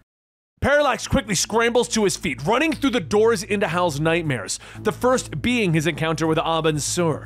Hal follows behind him, and the evil Abin Sur is laughing at him. There you are. Now where were? But before he could finish, Hal slaps a metal mouthpiece over him. Yeah, you could stop talking. He then puts his fingers to his lips, shushing Abin Sur. I've heard enough from you. He creates a large hammer, winding it up and slamming it back down on the seesaw that he's placed Abin Sur on, launching Abin Sur into the air. As Hal flexes, he simply declares, Superman, eat your heart out. And he realizes that Parallax is still attempting to escape and he begins to give chase. But as Hal catches up, Parallax turns yelling, Insomnia is calling to me! I have to go. But as he attacks, Hal effortlessly swats the yellow constructs aside. I am the master of your mind. I can still destroy you. But as more bigger and badder constructs appear, Hal tells him, No one but me is the master of my mind. That's what willpower is. However, there's another thing. We're in a dream world, right? If you can hurt me, that means that it works the other way around, too. Hal forms up a giant gun, blasting through the giant constructs and shooting straight in, hitting Parallax. Parallax retreats once more, now with a bullet wound, and Hal follows through the doorway. Where did you go? Come out! Let's get this over with. He looks at the shuffling bodies of his family, the corpses trying to blame him. Hey fam, you miss me? His father crawls forward, holding out his hand. Join us in death. You're not my dad, and you're making me fragging mad. A chainsaw appears on his hand, and Hal chops up his dad. Who's next? Aunt Lacey? I've always hated your birthday presents. He then takes a hold of the chainsaw with both hands, hacking away at the remaining bodies. And just as the last one appears behind him, he changes the chainsaw into a shotgun, turning back, opening fire. With nothing but bodies at his feet, another voice calls out So typical Jordan of you, letting your family die, just like you let him die on Korugar. But you don't like to talk about that, do you? Hal takes a deep breath. You can get out of my head now. Parallax steps out. Oh, did I strike a nerve? This isn't over. Hal pulls his arm back, winding up for the punch, and as he swings, his ring shines bright. And that's when he wakes up. It takes Hal a moment to realize what's going on, but he remembers that he fell asleep while in the air flying. He sees the pilot asleep and sits in the other chair. Yeah, this'll do. This'll do just fine. Let's touch this plane down and figure out what's going on. But the Green Lantern book also has a backup the story of Sinestro dealing with his nightmares. Sinestro lands before the two halves of himself one version of himself who was the beloved and respected hero, and the other a tyrannical monster. He could feel the fear bubbling inside, the shame. He has come face to face with the darkest evil.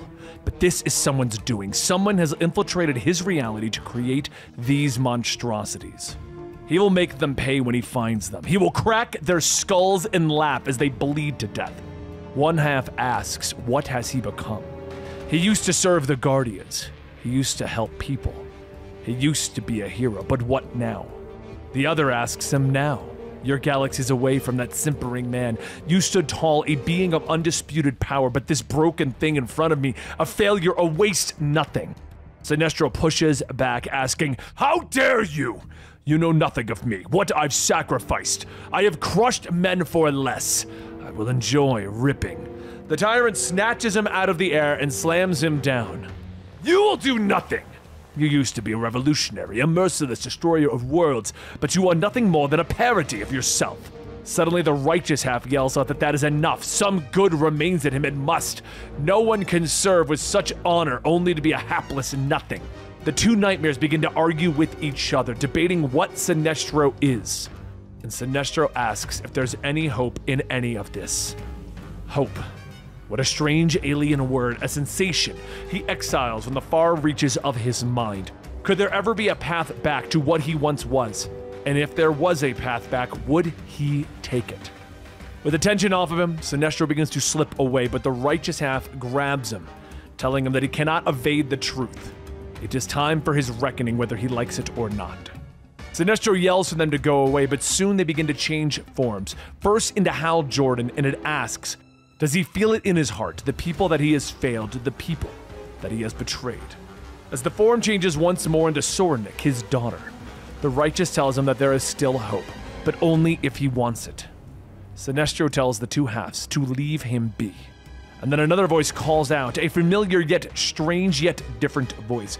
The voice calls out to guide him, and as Sinestro follows the sound, he sees his daughter Soranik once more, asking for her help.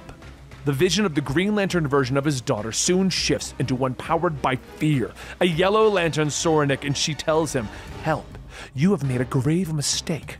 I've come to bury you. But then everything disappears and Sinestro awakens. Even though he's awake, the question remains in his mind what has he become? It doesn't deserve to be unanswered for long. The doubt, the fear, the shame.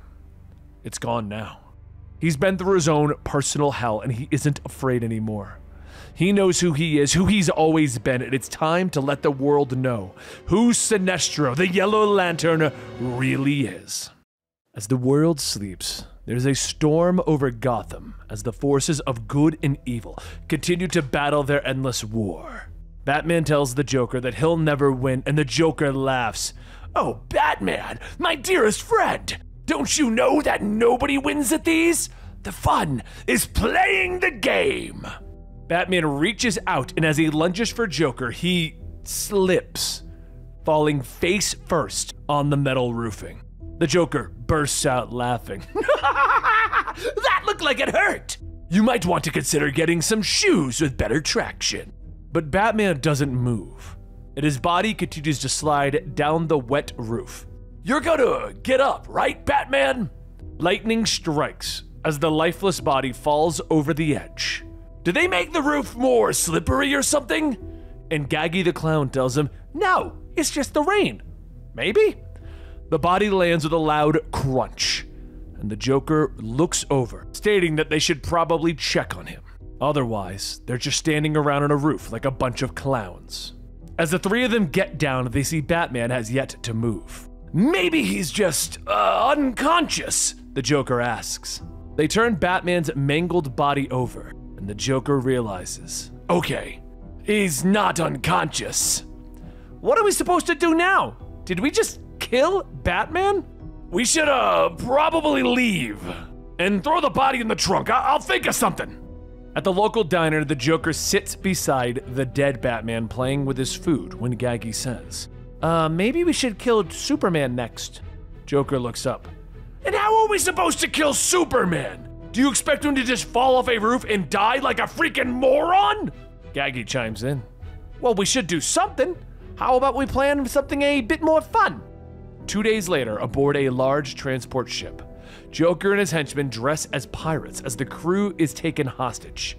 Joker asks the captain, What exactly are you transporting here? The captain tells him, Unrefined uranium ore.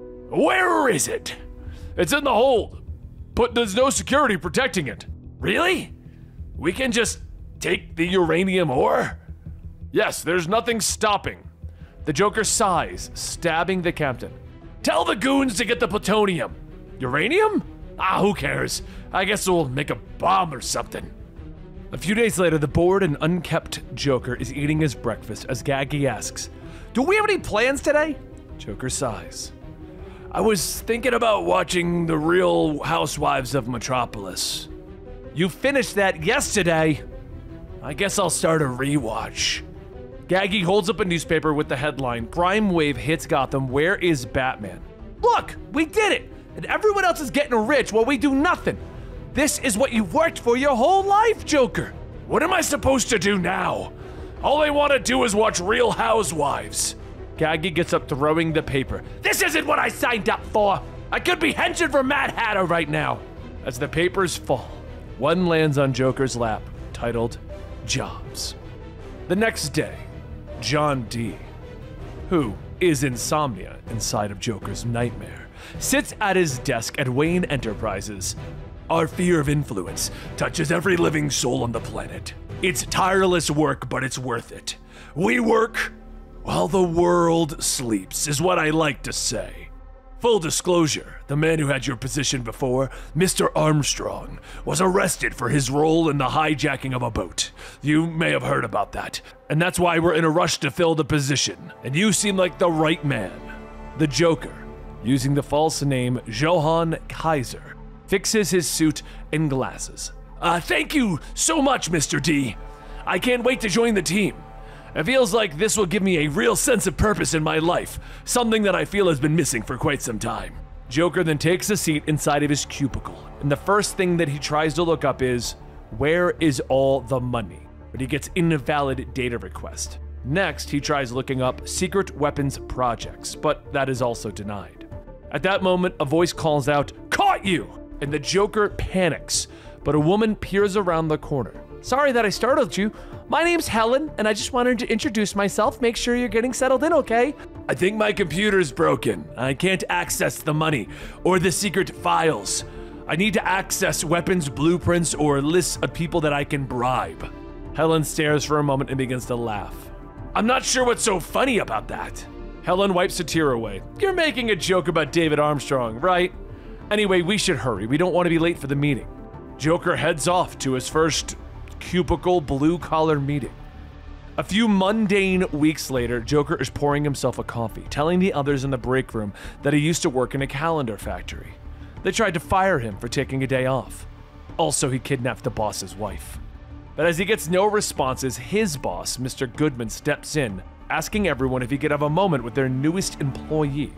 As everyone clears out, Joker asks, Is everything all right, Mr. Goodman? It wasn't my joke, was it? Goodman tells him, No, it's not his jokes. Everyone enjoys them. What he wanted to talk about was his performance. Looking over his end of month reports, they don't really look like reports. They're just lines scribbled on pieces of paper. One image of one of them appears to be a man being deflowered by a dog or maybe a boar, and the man is labeled with his name, Mr. Goodman. Joker flips through the papers. Ah, really? I, I don't see that here. Strange. But before he could finish, Goodman takes the papers back, asking, What are you even doing here? Because this work shows no indication that you have any idea how to even use. But before he could finish, Joker grabs the microwave, bashing it over Goodman's head, turning it on. You ask way too many questions! The microwave fries Goodman's head, and Joker steps out as Helen runs over asking if everything's okay. She heard a loud noise. Yes, yes, everything's fine. I uh, left something in the oven. I'm going to take the rest of the day off. So the next day, the Joker is standing on his desk calling out to anyone who will listen. You're all cogs in the machine that seeks to destroy us! We're bootlickers to a capitalist state that seeks to exert control over us! You do nothing! You serve no purpose! But Mr. D, once again, Insomnia, walks up asking, Can I see you for a moment? Joker looks at Mr. D. I'm sort of in the middle of something. Yes, of course. When you're finished, then, Mr. Kaiser. So Joker goes back to his monologue. Your own families won't even mourn your deaths! After a few more moments of silence, Mr. D asks, Is that it? Yeah, yeah, I- I'm done, Mr. D. Let's talk. Mr. D brings Joker into his office, and he says that he might have heard about Mr. Goodman by now. He died yesterday. He was in an accident in the break room, hit his head, and, well, he's going to have the forever sleep now. Joker reaches into his trench coat, pulling out a gas mask. You do say? Yeah, it's quite possible he took his own life. The Joker stops just shy of activating the gas strapped to him. Wait, what? Mr. D turns back with two glasses, and he laughs. What they told me really is true. Mr. Kaiser, you really are a jokester. But let's be serious for a moment. You're a rising star. Bruce Wayne has even taken a shine to you. With Goodman dead, I need someone who isn't afraid to dedicate his whole life to the job. I would like to promote you to Regional Management Assistant Vice Supervisor. Uh, are you sure? Sure as I've ever been, Mr. Kaiser. Between the arrests and the deaths, if we don't turn this ship around, Batman himself is going to pay us a visit here on the ninth floor. Uh, yeah, you see, the problem with that is Batman is dead. you crack me up, Mr. Kaiser. A few more weeks pass, and Joker is presenting the month's quarterly reports, telling everyone that he isn't sure if someone forgot a decimal or a multiplier. But this is bad. The last time I saw something this ugly is when they pulled Mr. Goodman's head out of the microwave. Everyone stares for a moment, and then they begin to laugh. All right, everyone, that's enough. Go home. We're done for the day here. One of the girls stops before leaving, asking, You know, a few of us are going out for drinks. It's Randy D'Amico and Shipping's birthday. Maybe you'd like to come? So a few hours later, the Joker is yelling. Who's having another with me? Anyone? Anyone? Who's gonna drink with me? Helen? Helen! Drink with your boss, Helen! Helen! But everyone quietly and awkwardly clears out of the bar with the Joker scoffing. If you didn't want to drink with me, that's fine anyway. I was gonna poison them all! When the Joker leaves, he notices a couple of men following him and he begins to run down an alleyway. As soon as he turns the corner, he's cracked in the head with a bat, and the group of men begin to kick the crap out of him. You've all just made a very big decision in your lives. Very big! See what I mean? He gouges out the eyes of one man with his thumbs, and then he turns, shouting, Gotham is my town! You're all just bloody tourists. You have no idea who you just crossed paths with. But out of the shadows, Gaggy steps out. Is. is that you? Joker smiles with his bloodied face. Oh, hello, Gaggy! Looks like you've branched out into more pathetic ventures. We didn't know what happened to you. We looked everywhere for you, boss. The rumors are that Batman is back. We were worried that he came for you. Joker dusts himself off, telling Gaggy, Stop making up lies. It's unbecoming of a man of your stature. Well, how have you been? Setting up your next big score? No. Joker then walks off. You should find something that gives you purpose. You can't sit around waiting all day for a man in a bat costume to assault you. What kind of life is that? So the next morning, the Joker heads into work all bandaged up, telling everyone that they should have stuck around for karaoke. His tears of the clown would have given them chills. He also does some Fleetwood, but Helen stops him, asking, What the hell happened? Oh, what this? You should see the other guy. I gorged his eyes out with these babies. A few of the workers laugh, but one of them says that crime is really getting out of control. Where is Batman when they need him? Oh, Batman's corpse is in my closet at home. But another worker chimes in stating that his wife was mugged last week by the reservoir. Thankfully, she's okay, and Batman even got her purse back. Joker spits out his coffee. What? Y- yeah. Is she sure that it was Batman? Yeah, there's not a lot of other guys dressed up like a giant bat last time I checked. So on his walk home, Joker looks in the sky and notices the bat signal, and he begins to grind his teeth. As he heads into the apartment building, old man Jarvis walks out with his dog. How's work, Ben? Uh, you know, just another day working for the man. Joker sighs as he goes inside and he takes off his coat, shooing away the flies. He hangs it up, turning on the TV.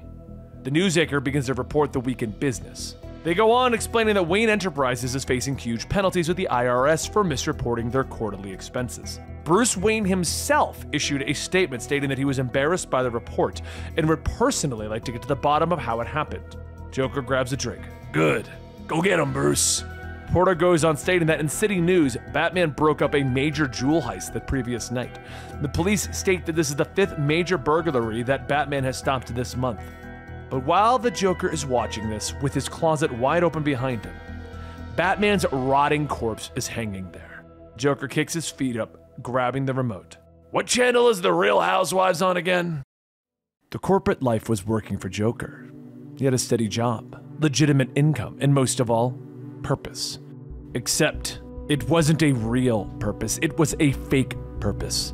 He didn't have a purpose without Batman around, and word about Batman being dead was beginning to spread. So Joker did what no one thought possible. He became the Batman, but a very brutal, violent, murderous Batman. At least, that's what he thought until he woke up. He woke up gasping from this dream that he had become Batman, and his wife Lena asked if he had another bad dream. Joker looks at her. What?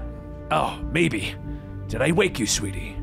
Before she could answer, his son Albert comes into the bedroom asking, What are you doing sleeping still? I'll be late to practice. Joker gets out of bed, telling him it'll be okay. We won't be late. So, how about some of Papa's famous clown pancakes before we leave? Yes, life was going quite swimmingly for the Joker.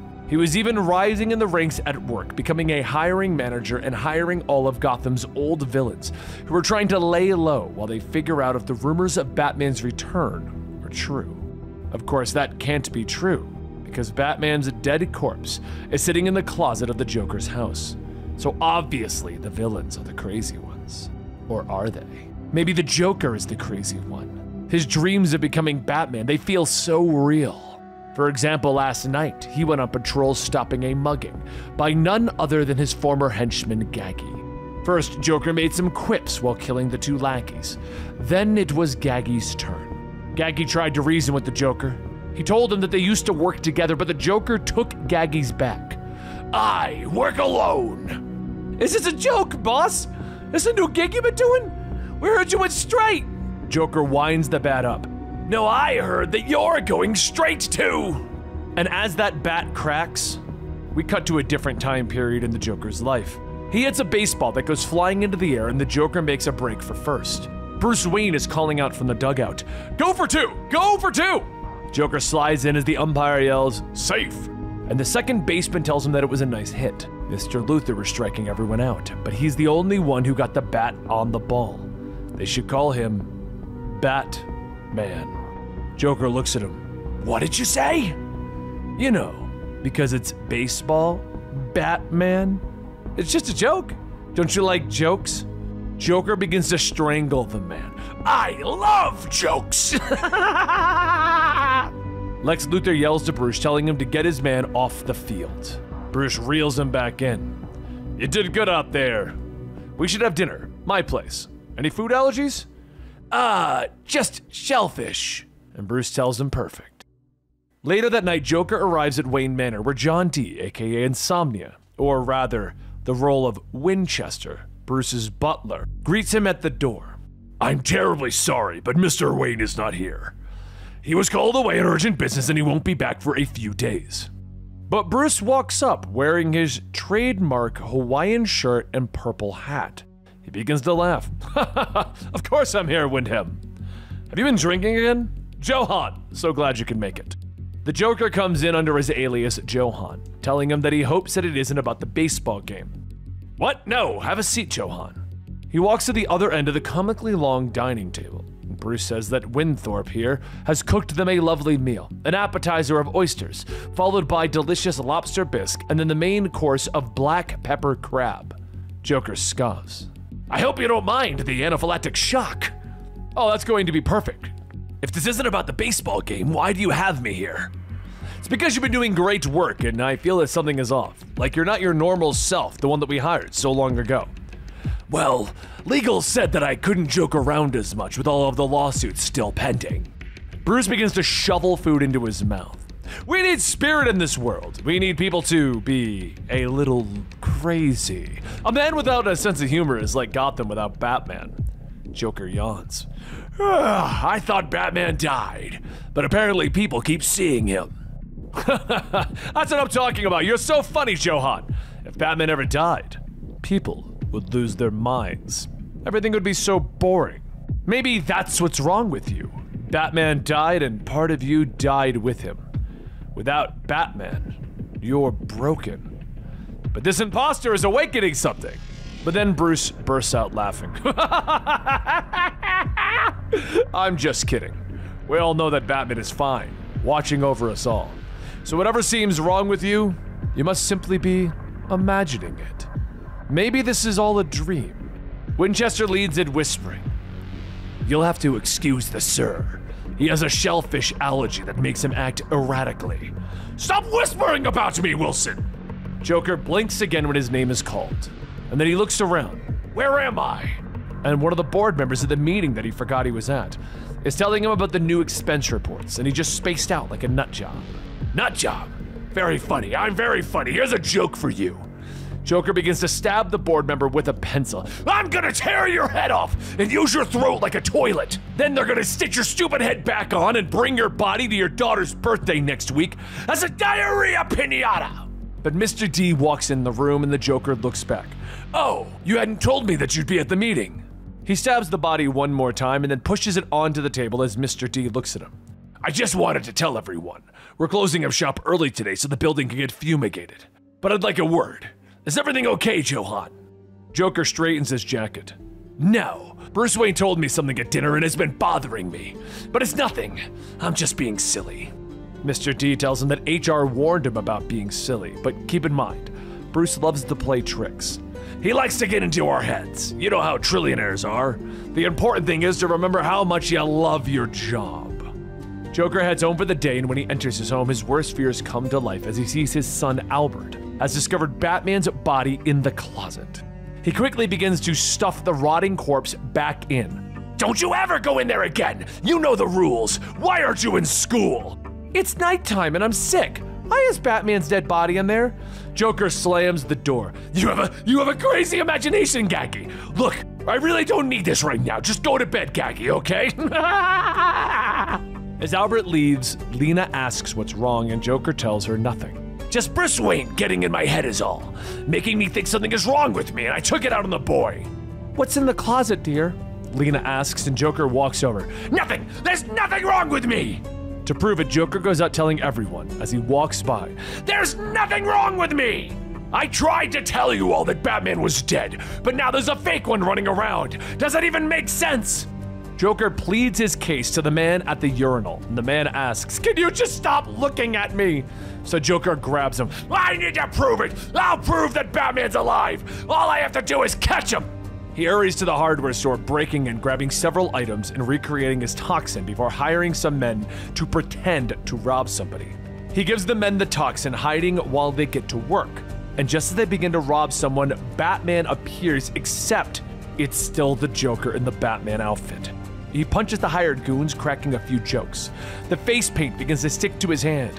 What the hell is this? It's too sticky! Get away! The goon grabs the toxin and the Joker yells, Wait! Kill them all! The goon cracks it. I was told that he'd say that. Joker begins to inhale the gas.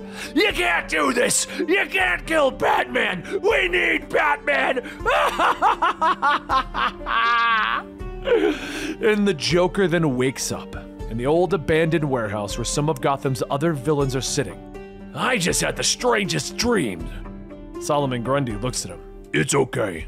You with friends now. And Joker sighs, laying back down. Shut up! I'm going back to sleep. Everything was a haze as Nightwing begins to come to. He starts to hear voices. He tries moving his arms and his legs, and he finds himself strapped down. He begins to ask, What is going on? The nurse tells him that he's starting to come around. Should we give him more of a painkiller? The second nurse tells him no. The pain will provide him with some clarity. A clear head is paramount to his recovery. Nightwing finds himself wheeled down the hallway, trying to take in what he can to detect that this place is familiar, because it looks like he is in Arkham Asylum. The nurse continues to talk, stating that he's still a bit groggy from the sedatives. They'll wear off soon enough, but then he'll remember. He'll remember. The next time Nightwing snaps to, he's being hosed down by some security guards as they laugh at him, panicking. Oh, it looks like the killer can't even handle a little bit of water. Loosen up, boy. Enjoy your spa day. Once they're done, the guards throw him his clothes. Nightwing tries to process what this even is, how he even got here, and why does he hurt so much. After getting dressed, Nightwing is then handcuffed and he walks down the hall to his cell, where many of the criminals he helped put away welcome him with open arms. But something's off. They're not all yelling at him with claims that they'll get their revenge. They're talking to him like he's one of them. The guards toss Nightwing into his cell, telling him to go on and get settled. If he doesn't want any problems, he better make nice with his cellie. Nightwing looks around at the one bed cell. Cellie? Wait, there's been a mistake. Someone explain to me what's going on! He bangs on the cell door, and Two Face is flipping a coin. What is out? Everyone knows about you and what you did. Sure, out there you're a monster. But in here, you're an icon kid. Nightwing tells him, Whatever you think I've done, I didn't. You must not remember it then. Don't worry, the drugs should last you long enough, especially with that guy in your cell. Nightwing looks back again. Who? There's no one else here! Getting nowhere, Nightwing lays down to try and let the sedatives and the drug work through his system, trying to piece together what actually happened. When a voice whispers to him to try and get some rest. Perhaps once he wakes up, it'll all have been a nightmare. Nightwing begins to drift off to sleep, beginning to see pieces of something a vision, the past. Whatever it is, it's violent and there's blood on his hands. But before he could look down to see who he was hitting, the police arrive. They yell for him to put his hands up to where they can see them. Nightwing begins to run. It wasn't me! You have the wrong guy! But the animal police charge at him, asking, Then whose blood's all over your sticks then? Give it up already, we got you cornered! Nightwing runs into a dead end, turning back. I'm just gonna have to go through them to get out of here. The police are hardly a problem, especially when he tries. But no matter how skilled he is at fighting, a stun gun to the back can put down just about anyone. One of the officers scoffs that it's one more murderous animal for the funny farm. Nightwing tells him to stop. I- I'm not. Who do you think I killed? At that moment, Nightwing snaps to reality. He wakes up. He's being electrocuted awake, and one of the rat doctors says that he's regaining consciousness. Should they administer more anesthesia? And a voice over the comm says no. Let him wake up. The pain will be good for him. The rat nurse readies a syringe, stating that if he survives the procedure, of course. The voice goes on, stating that death has curative properties as well. Remove the mouthpiece. I'm curious if our guest has begun to remember. As the mouthpiece is removed, a voice says, Welcome back to the land of the living. Do you remember what you did, how you got here? Nightwing forces a smile. Yeah, ask your mom what I did. With that, Nightwing is electrocuted again. Dig deep, recall your deeds. Nightwing screams, struggling in his chair until he rips apart the leather straps, beginning to stand back up. The doctor tells him, Please, remain calm. The treatments may hurt, but we will cure you in the long run. Treatment? You're going to kill me! Please restrain the patient. Use whatever force is necessary. The guards run in. Use force. Got it, Nightwing says, throwing the table at the guards. He then turns back to the doctor and the nurse, and the doctor tells him, Please, wait, we're just doing our jobs. We want to help. Nightwing lifts another table ready to hit them. We're way past that now. And then he suddenly loses his strength, falling to his knees. You put something in my mind. Stay away. I won't hurt you if you let me go. The doctor and the nurse soon begin to tell him, Wait, it's us. It's been so long. No wonder you don't recognize. The two take off their rat heads, and Nightwing stares. No, no, this can't be. This isn't real. The corpses of John and Mary Grayson look back, and the voice asks, Don't they look familiar? Mom and Dad, their hopes for you flew so high. Too bad you were destined to fall, just like your parents.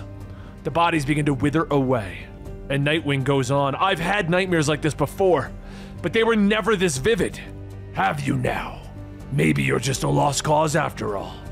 Nightwing looks at the one way mirror in front of him and he jumps through it, shattering the glass, and there stands Insomnia. Nightwing readies himself for the fight, telling him, Nothing I see or hear can be trusted.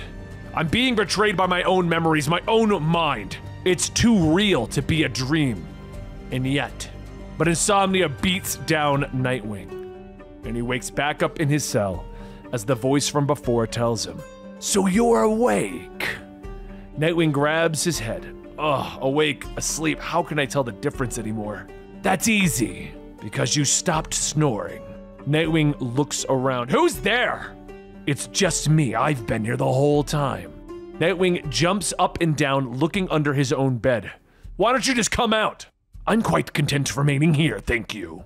Getting frustrated, Nightwing flips the bed over to find Nothing.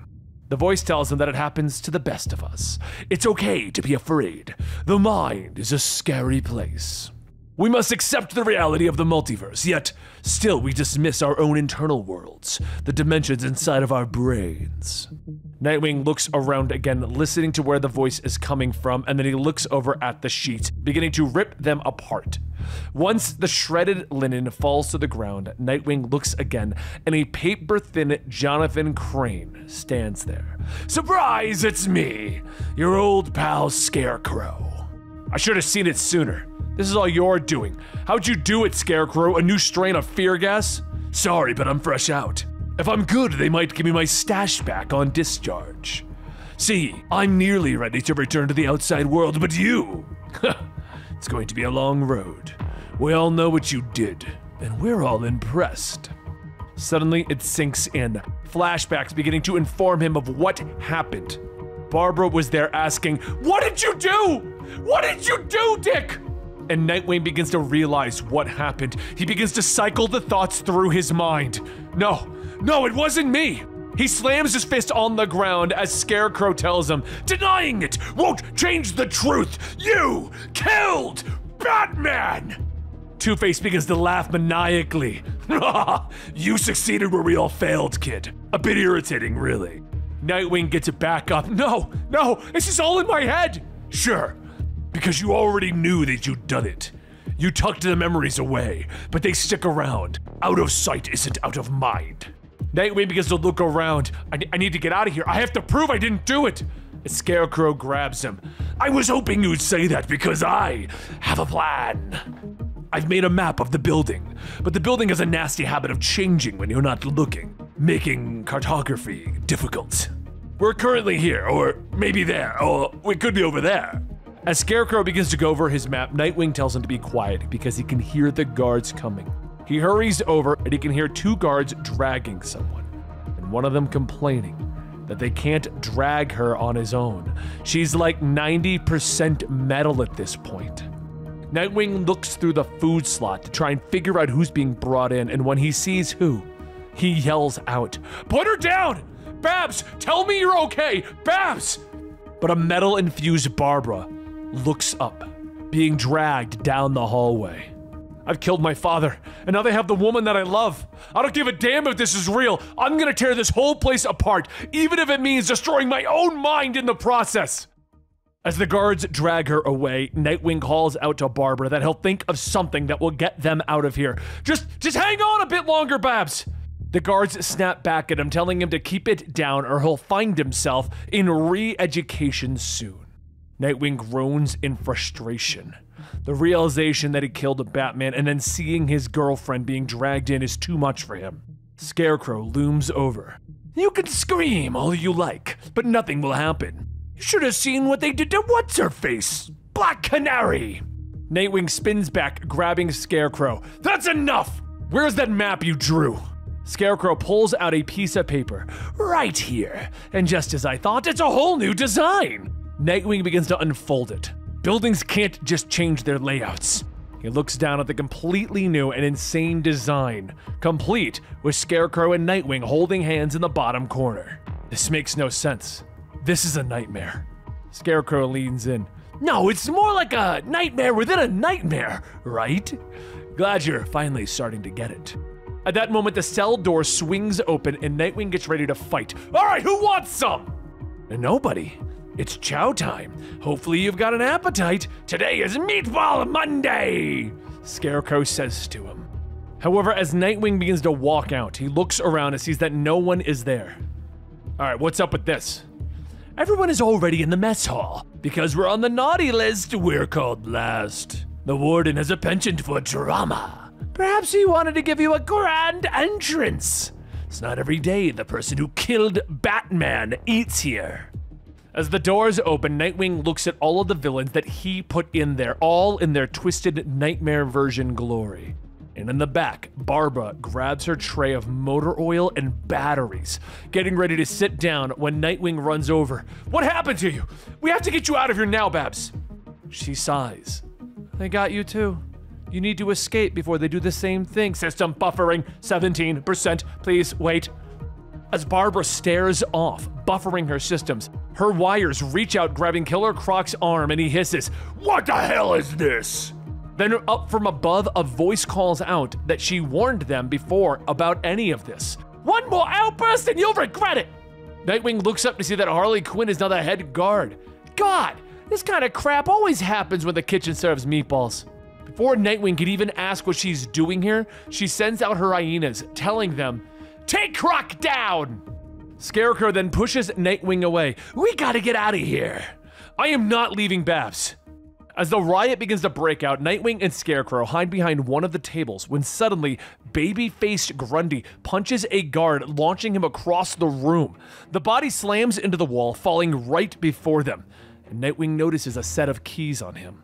While everyone continues brawling and hitting whatever is in front of them, Nightwing and Scarecrow sneak off to try and look for Barbara. And when they get to the next room, everything changes. Nightwing pulls out the map. All right, what is this place? It's not on the map. That's because it's not on the map. This area is uncharted. It's the back rooms of Arkham. I once worked with this fellow, Basil Grimes. Said he was an architect. Never saw a resume, but he seemed legit. If you were gonna map the building, Grimes would be your best bet, Nightwing. We did have a pair of walkie talkies, but he's been missing for a few days now. Hopefully, he's alive. Just then, the walkie talkie buzzes and Scarecrow pulls it out as Basil asks, Anyone there? Professor Crane. Scarecrow responds, I read you. What the hell happened out here? I may have taken a wrong turn. Not to worry, we're coming to find you, Basil. Basil pauses. We? He's with you, isn't he? The bad boy with the nice. But Nightwing interrupts. I can hear you. I left a trail for you. Just follow it for a bit and you should be able to find me. The two spot the blood marks in the back rooms, and Basil says, Oh, I forgot to mention, Oracle found her way into my radio frequency. She said to pass along a message find a way out and save yourself. Sounds like she really likes you, Bat Boy. She knows I can't leave her. So Basil asks, Are you going against her wishes just to satisfy your ego? Typical. Oh well, you should be coming up on me now. As they turn the next corner, Scarecrow looks down at the melted body of Basil Grimes. Oh, look at you! You're naked! Nightwing examines the body, stating that Basil is at an advanced state of decay. And this putrefaction, how long have you been gone? Oh, he's only been gone for like three days, Scarecrow tells him. Basil leans up, grabbing Nightwing, telling him, People change here. It happened to Oracle. She knew that you would be next. But you're going to escape, right? Live happily ever after. But how do you leave a place with no way in?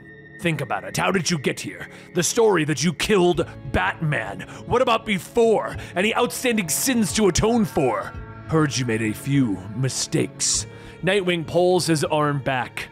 I've paid for those, and now it's my turn to. But at that moment, Barbara radios in, telling him to leave Basil alone. The poor man is already dead.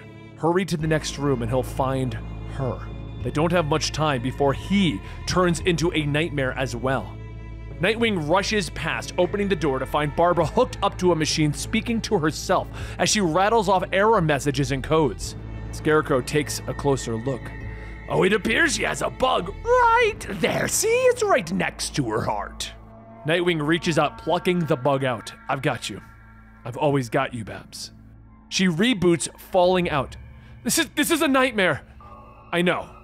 No, Nightwing, this is a literal nightmare. We are stuck in a literal nightmare. I've run enough simulations to recognize their hallmarks, and we are in one. Whatever this is, it's turning us into what we fear the most. An oracle here, she's afraid of being too reliant on computers. Well, I'm afraid of, well, everything. It dilutes the effect. If anything, we should probably be most afraid of what Nightwing's fears are. At that moment, a spotlight begins to turn on, and Insomnia shouts, Welcome, one! Welcome all to the most magnificent show on earth! Tonight's act features the high flying chills and all the spills we pray to never see. Soon the room begins to shift, and everyone finds themselves standing in the middle of the circus ring as Insomnia goes on stating. There are some who tame lions, some who charm snakes, and others who train bears, but tonight, all eyes are upon the Bat! Batman, half dead, begins to shuffle in, and he begins to run towards Nightwing for murdering him. Nightwing jumps out of the way. None of this is real. I didn't kill you. I'm not. But Batman can't help himself, shouting, Murderer! Witchcraft wit!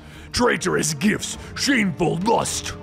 But this time, as Batman lunges, Nightwing grabs him by the arm and his arm just falls off. Nightwing stares at his clawed hand. What's happening to me? Vile, lonesome crust, Batman says, laughing at him. Barbara throws her wiring out, grabbing a hold of Batman, calling out to Nightwing, You're not a monster, even if you're turning into one. Nightwing begins to run forward, jumping with both feet forward, kicking a giant hole into zombie Batman's chest. Insomnia laughs. The crowd to behold! The elegance and power of a flying Grayson! Come on up, take your place in the spotlight. Make your parents proud. Nightwing climbs up to the high flying location, and he sees Insomnia's face change to that of Tony Zucco, the man that changed his life forever. Naturally, his face still haunts you. Maybe we should turn the heat up. What do you say, Nightwing? Nightwing grits his teeth, launching forward. I think it's time that you had something to fear. This is no longer my nightmare. It's yours, Insomnia. He twists and snaps Insomnia's neck, falling to the ground and looking back up. As if my fears would be so pedestrian. Nightwing hangs off the top rope as Scarecrow yells that he can jump. Don't worry, I'll catch you!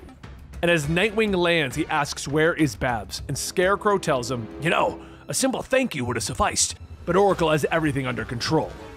Nightwing hurries over, calling out to Barbara, and she stands with Cassandra Cain and Stephanie Brown, stating that she's okay and she got the Batgirls. They've all managed to break themselves out of this nightmare.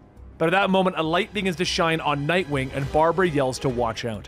Wires fly past, grabbing Batman, but this time she electrocutes him until his body disappears and transforms into literal bats. The bats begin to swirl and fly up through a hole. As Stephanie says that that might be their ticket out. Nightwing tells them to go, and Barbara stops. You always do this. But Nightwing tells her that she should know that he'll be fine. He has something that he has to do first. As the circus tent begins to burn, Nightwing walks back, and Scarecrow looks at him, telling him, Oh, you came back for me! How sweet. Nightwing reaches out, telling him that the plan was to escape together. Despite everything that he has done in the past, there's no way that he'd leave without Scarecrow. Scarecrow laughs. In a different world, we may have been friends, but alas, Nightwing. Nightwing tells him to take his hand, and Scarecrow just stands there. How does this end? You're gonna carry me to safety tonight, but what happens tomorrow? Better leave while we're on speaking terms. Go, save yourself. There's a moment of hesitation, but Nightwing turns back. I won't forget what happened here. And Scarecrow smiles. I know. The best part of you liked it. That time you got to kill Daddy. Darkness is a part of you. The thin margin between dread and desire. Tonight you tasted it and it left you wanting more. Nightwing begins to wake up and Scarecrow laughs. now that we're alone, I need to know. What did you have for me? Please, Insomnia, I have been a patient. The crows begin to fly over and one lands on Scarecrow's arm. Did you do this all for me, Insomnia? Made a place where I can indulge. Well, it was beautiful. Nightwing then begins to wake up, telling himself that it was a bad dream. It's something that he's going to be thinking about for a long time to come. Crime never stops in Gotham. Certainly not before the world event that could put the unknowing inhabitants to sleep. For Tim Drake, he continues to put himself to the absolute limits by not resting night after night on his patrols and arrests, where across town, another Bat family member finds himself in a similar position, though Jason Todd would never admit it. But for these two, they're about to get some much deserved sleep, just not in the way that they'd want. As the nightmare wave covers the world, these two Robins are easily taken by its mists. But they somehow manage to find themselves within the same dream. Jason rubs his head, asking, Tim, what are you doing here? I told Oracle I didn't need any backup. And Tim begins to get up and look around. I'm not sure where you were before the energy wave, but I wasn't in some twisted joke of Gotham. Jason then takes in the floating buildings and giant tentacles. All right, point taken. So are we in some alternate universe or something? I don't think so. It feels like I'm in the seediest part of Gotham, but also on my way to class in 10th grade. The morphing landscape, the strange logic, the mental leaps. It's quite possible that we're both dreaming. Funny that you mention that. I get the strangest feeling that I know that it's my 53rd birthday, and that we're being watched. But if this is a dream, how do I know that you're real? Let's test it. Jason punches Tim with enough force to knock him back. Hey, what was that for? I did it in the last dream that I had with you, except this time, you turned into a bunch of little cartoon birds. Tim then spits out all of the teeth in his mouth. Yeah, this is definitely a dream. The fact that I can still talk without any teeth is proof of that. Having your teeth fall out is a common nightmare. Considering who I'm stuck with, it appears that we're trapped in one of those. Tim begins to examine his surroundings, stating that they both have derealization disorder symptoms, feeling like you're awake but you're trapped in a dream. Batman's files on Dr. Destiny from the JLA computers talk about how to recognize if you're in the dreamscape. And if you can feel pain, you can most likely die here as well. So if this is all in their heads, great. And if not, they're in big trouble. I hate to admit it, but I think you're right. Considering the atmosphere in here just went from bad to worse, I'm gonna take your word for it. Some of the surroundings change again to a scene of a graveyard as two hands reach out, grabbing each of their legs. One voice tells Tim not to fret, little birds, and another voice tells Jason that this nightmare is only beginning. The two are then dragged and separated by the skeleton like claws. As Tim yells, Remember, things can actually hurt. Try and stay alive and I'll find you. Ha! Worry about yourself, Tim. If these things can hurt, then we can hurt them back. Just try to keep your head in the game! As Tim blinks, he finds himself in a familiar kitchen, his dad's apartment. And it's just as it was when. Wait. No, no, no. He begins to panic as he realizes what's going on. He looks at the calendar to confirm his suspicions and realizes that this is the day that Captain Boomerang came and killed his father. Suddenly, Tim's father is yelling at Boomerang to get out of the house. So Tim runs over, shouting to not try and fight. Just run! I'll save you, Dad! Meanwhile, with Jason, he has a similar feeling as he wanders around a bunch of shipping containers. Beautiful. Brings back such lovely memories. And Tim, you better not be dreaming of your cushy bedroom back in the manor. But a voice chimes in Jason, Tim is in just as much hot water as you. Whoever said that, step out of the shadows before I start filling you with bullets. The figure then steps out. We are happy to oblige, but sadly for you, you're little outgunned. Then Jason is struck in the back of the head with a crowbar. Back with Tim, he races down the hallway, calling out to his dad, telling him to hang on and he'll save him. He's gonna make it this time. He's going to. But as soon as he turns the corner, he hears a bang and a shellac. as he sees his father with a boomerang in his chest. Tim stumbles forward as he falls to his knees. His father tells him, You should have tried harder. You're supposed to save people. Soon a voice laughs. I really hate to see it. Poor little hero gets the chance to change history and save his father, and you still can't hack it. Can you, Tim? Tim looks up to see the voice is coming from a nightmare version of himself, but one that looks like our villain, Insomnia.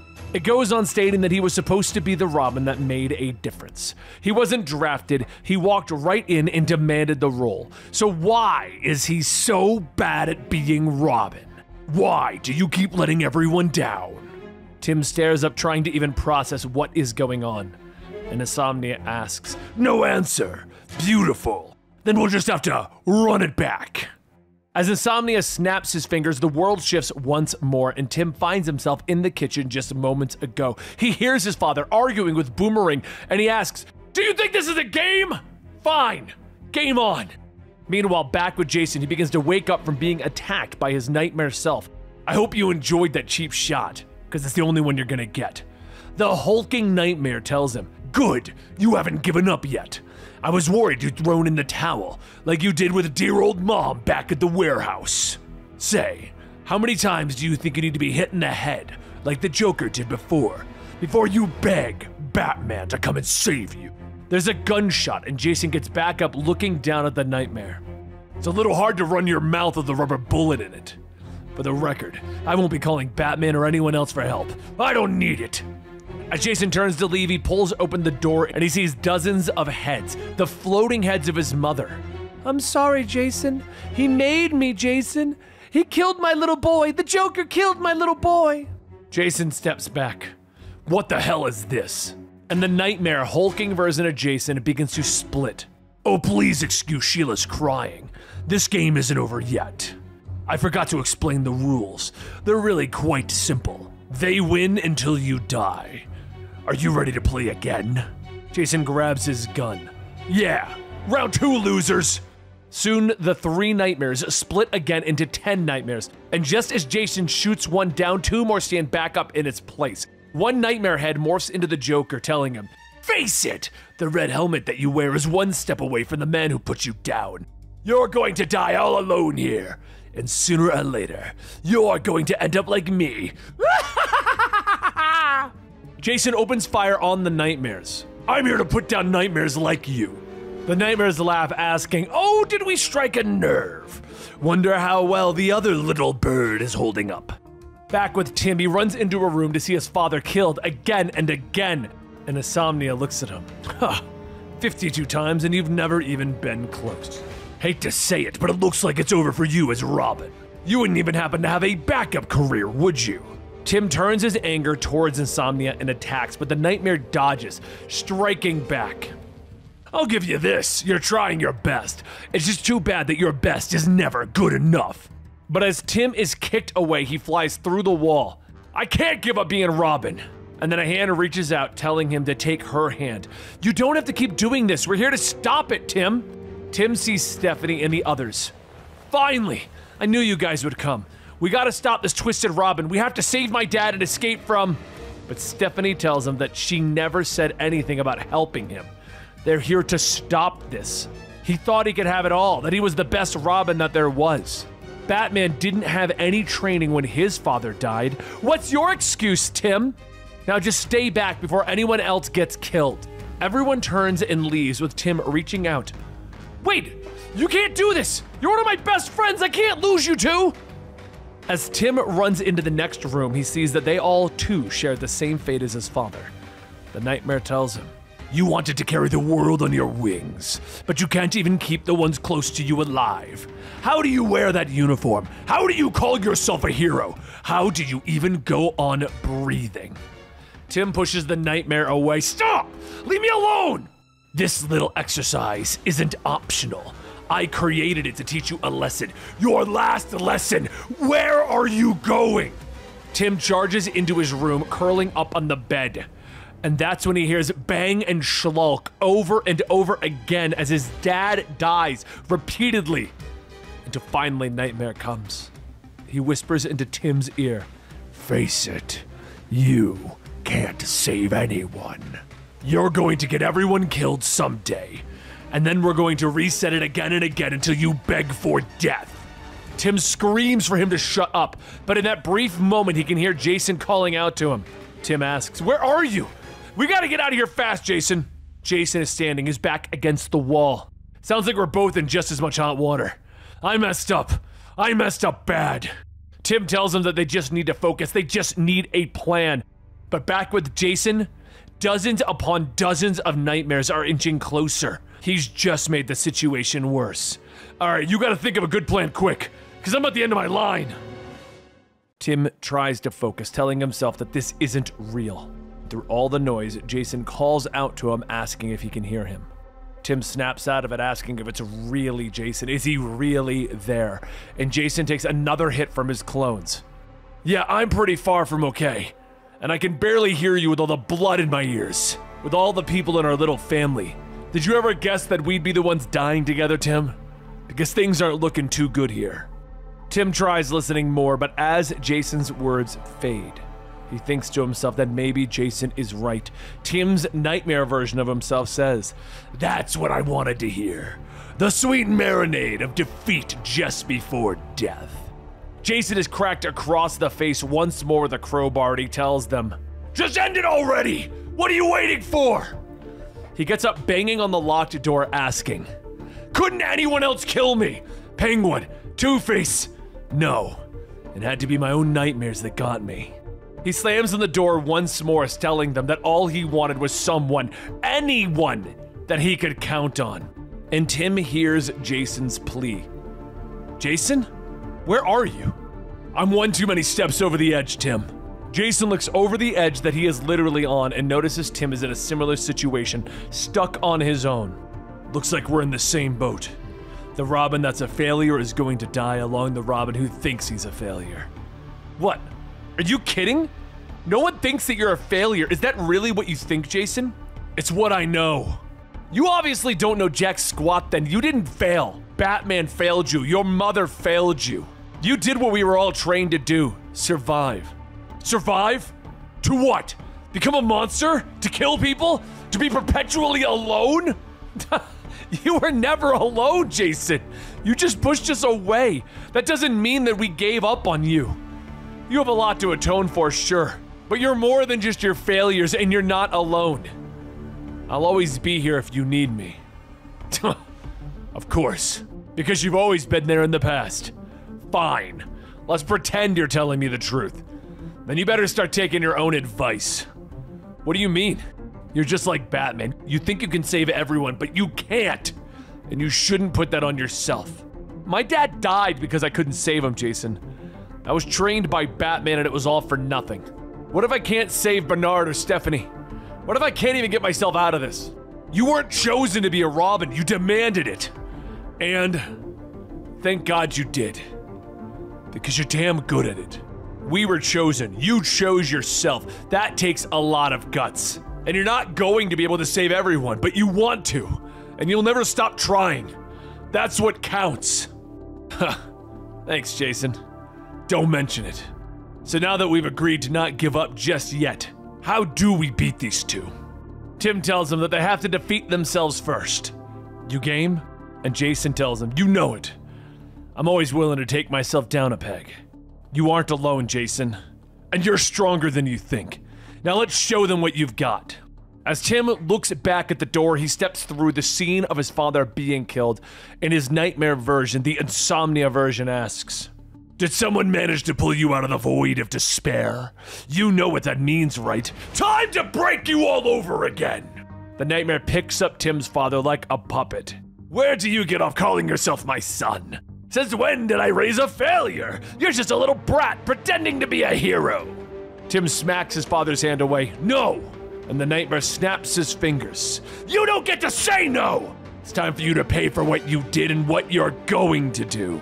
You're only gonna live long enough to watch your friends suffer because you're not good enough. Do you think Nightwing would let this happen? Or Barbara? What makes you so special? The world needed a Robin, so I became the best that I could be. Yes, people have died. More people might. I couldn't save my father, and I accept that now. That won't stop me from trying to save the others or beating this cheap nightmare copy into paste. While Tim begins to find his rhythm, Jason too begins fighting back against his copies, and he takes out his guns, tossing them to the side. One of the copies kicks the guns back. You have to pick them up and fight! But Jason sits back down. Why? Because I'm so good at doing what I've been told? No, I'm gonna try a different approach. I'm gonna wait for backup to arrive. The copies, again the insomnia versions, yell at him No one is coming for you! You're alone! Do you know why no one ever comes? Yep. Because I never ask. Jason sits there for a few moments and he lets out a forced sigh. Robin, Tim, I need your help. Back with Tim, his nightmare shouts, You're the one who did this! You're the one who killed your father. I can't save everyone, Tim tells him. But even if someone else dies, I'll never stop trying. Tim begins to rip the nightmare's cloak off. Because I don't break. I hope. I'm the light. The nightmare falls back, curling up. You won't save everyone! Your friends, your family, just give it up! And Tim says that he'd rather die trying. Right now, more than ever, one of them needs his help. Over with Jason, his nightmares begin to beat him over and over, using their crowbars, telling him, Fight back, or the next time we'll break your skull. Jason just laughs. I'd love to see you try. Why don't we just wait for my friend to get here? I'm sure that's gonna go over well. One of the copies stabs Jason in the stomach, telling him that it's time for him to die. And he's going to die alone. No one is coming to save him. You're wrong. Drake, you want to do the honors? And a second later, Tim comes crashing through the barrier, feet first, into one of the copies. As he lands, Jason looks at him. Ha! Took you long enough. But I didn't doubt you for a second. Now you ready to get some payback? And Tim smiles. Nothing would make me happier. The two begin to take on each other's nightmares with more determination than they ever have had before, easily winning over their fears and past traumas. And as the versions fade away, Tim says that that settles it. All right, now, how do we wake up? Jason looks out. Something tells me that's what we're about to find out. The world begins to shift and the two begin to roll away. I'll see you on the other side. I just hope you're alive on the other side. Jason wakes back up on the roof of the warehouse that he was on before he got sucked into the dreamscape and he looks over the edge at the stationed goons asleep. He radios it in. Anybody there? I need help. Robin, Oracle. Tim? A few silent seconds later, Tim radios back. Okay, this is bad. It could have been a lot worse, but this is bad. Are you okay? I fell asleep while driving my bike. I'm a little bruised and battered on the outside. You good? Jason says that he's getting there. It looks like there's still a big mess to clean up.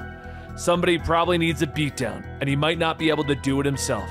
Assuming you were really in that dream, you ready to make good on what you promised? Tim picks up his bike, riding it off. Always. I'm on my way, Jason. The heroes have lost. Insomnia's nightmare creatures have begun to spread across the world, and people are finally waking up. But now they're being attacked by nightmare monsters and nightmare versions of their heroes. Insomnia stands triumphant in the front of the Hall of Justice, holding the Nightmare Stone aloft, gloating to Boston Brand and Sandman. With the Nightmare Stone, I can make the whole world understand. They will see what the so called heroes have done to me, and they will fear them.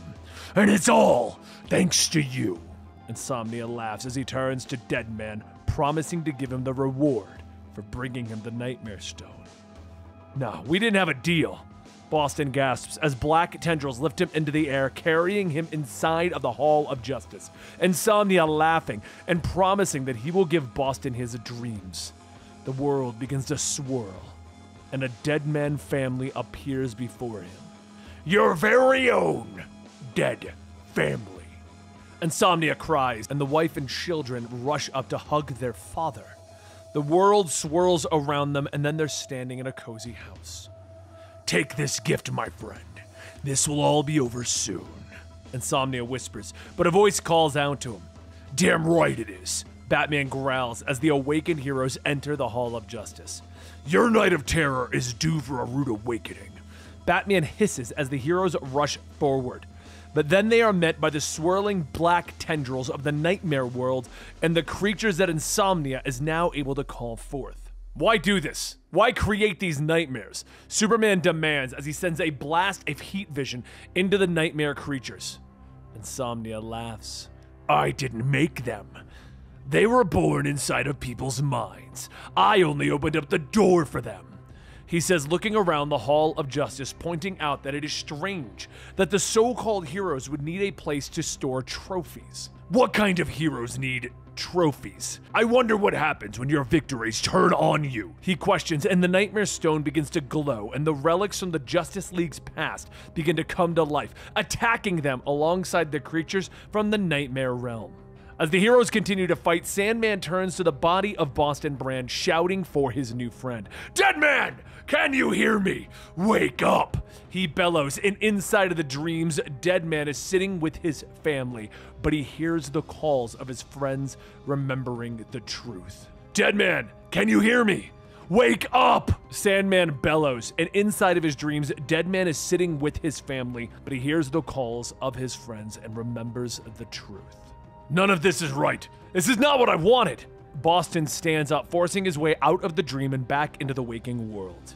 You gave me what you wanted, and I'm not gonna live in some dream while my friends are out here hurting. Deadman snaps as he lunges at Insomnia in the real world, but Insomnia reaches out, grabbing Deadman by the head.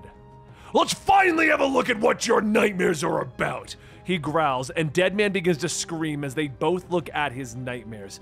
He sees himself alone without a crowd to watch him. Deadman lashes out, punching Insomnia across the face, knocking the villain away. And while Deadman continues to fight against Insomnia, the rest of the heroes continue to battle the nightmare creatures. We need to get back to where this all started the nightmare construct of John Dee's body. Batman shouts, and Superman nods, sending another blast of heat vision out. I'll clear a path he shouts as the heroes rush out of the room, only Zatanna and Cliff staying behind, holding off the sleepless knights. Nearby, Deadman and Insomnia are pushing away from each other. Nothing is gonna bring back your family, Insomnia. This doesn't honor them. Let's stop this together, Deadman says, and Insomnia nods, admitting that the hero is right. But I've won. I wanted the entire world to know the truth, to know the monsters that the Justice League is. I win! Insomnia says as he reaches out, ripping Deadman in half, and he begins to float up into the air. I know how to honor my family. I will punish the heroes! He bellows, and meanwhile, our heroes have found the body of Dr. Destiny. Batman reaches out, opening up the box that contains the Dreamstone. He was drawn here because of this. The Dreamstone gave him his powers. It might be able to counteract the Nightmare Stone, Batman says, and Sandman nods, stepping forward, picking up the stone. I've always felt a connection to it. He whispers, the power of the Dreamstone beginning to swirl around him. But Insomnia has arrived. He uses the power of the Nightmare Stone to begin transforming our heroes into their nightmare versions. You think you can handle the Dreamstone's powers, Dodds? You're nothing but some weak zombie. Old. You're out of your league. Insomnia laughs, but Sandman raises the stone and his pistol, telling Insomnia that the Nightmare Stone should never have been brought into the real world. Bring it, zombie! I'll kill you just like I killed Deadman! Insomnia shouts, but a voice laughs behind him. Ha! You really fell for that? Faking death was my whole act. Deadman shouts as he flips into the room, grabbing a hold of Insomnia, and he begins to rip the Nightmare Stone away from him. The powers of the Dream and Nightmare Stone beginning to mix together, drawing both Deadman and Insomnia into the white light, into the afterlife. Boston! You don't gotta do this! The Dreamstone can save you! Sandman shouts, but Deadman smiles back at him. This is what I wanted. I wanted to be the star again. I'm tired of being just a watcher.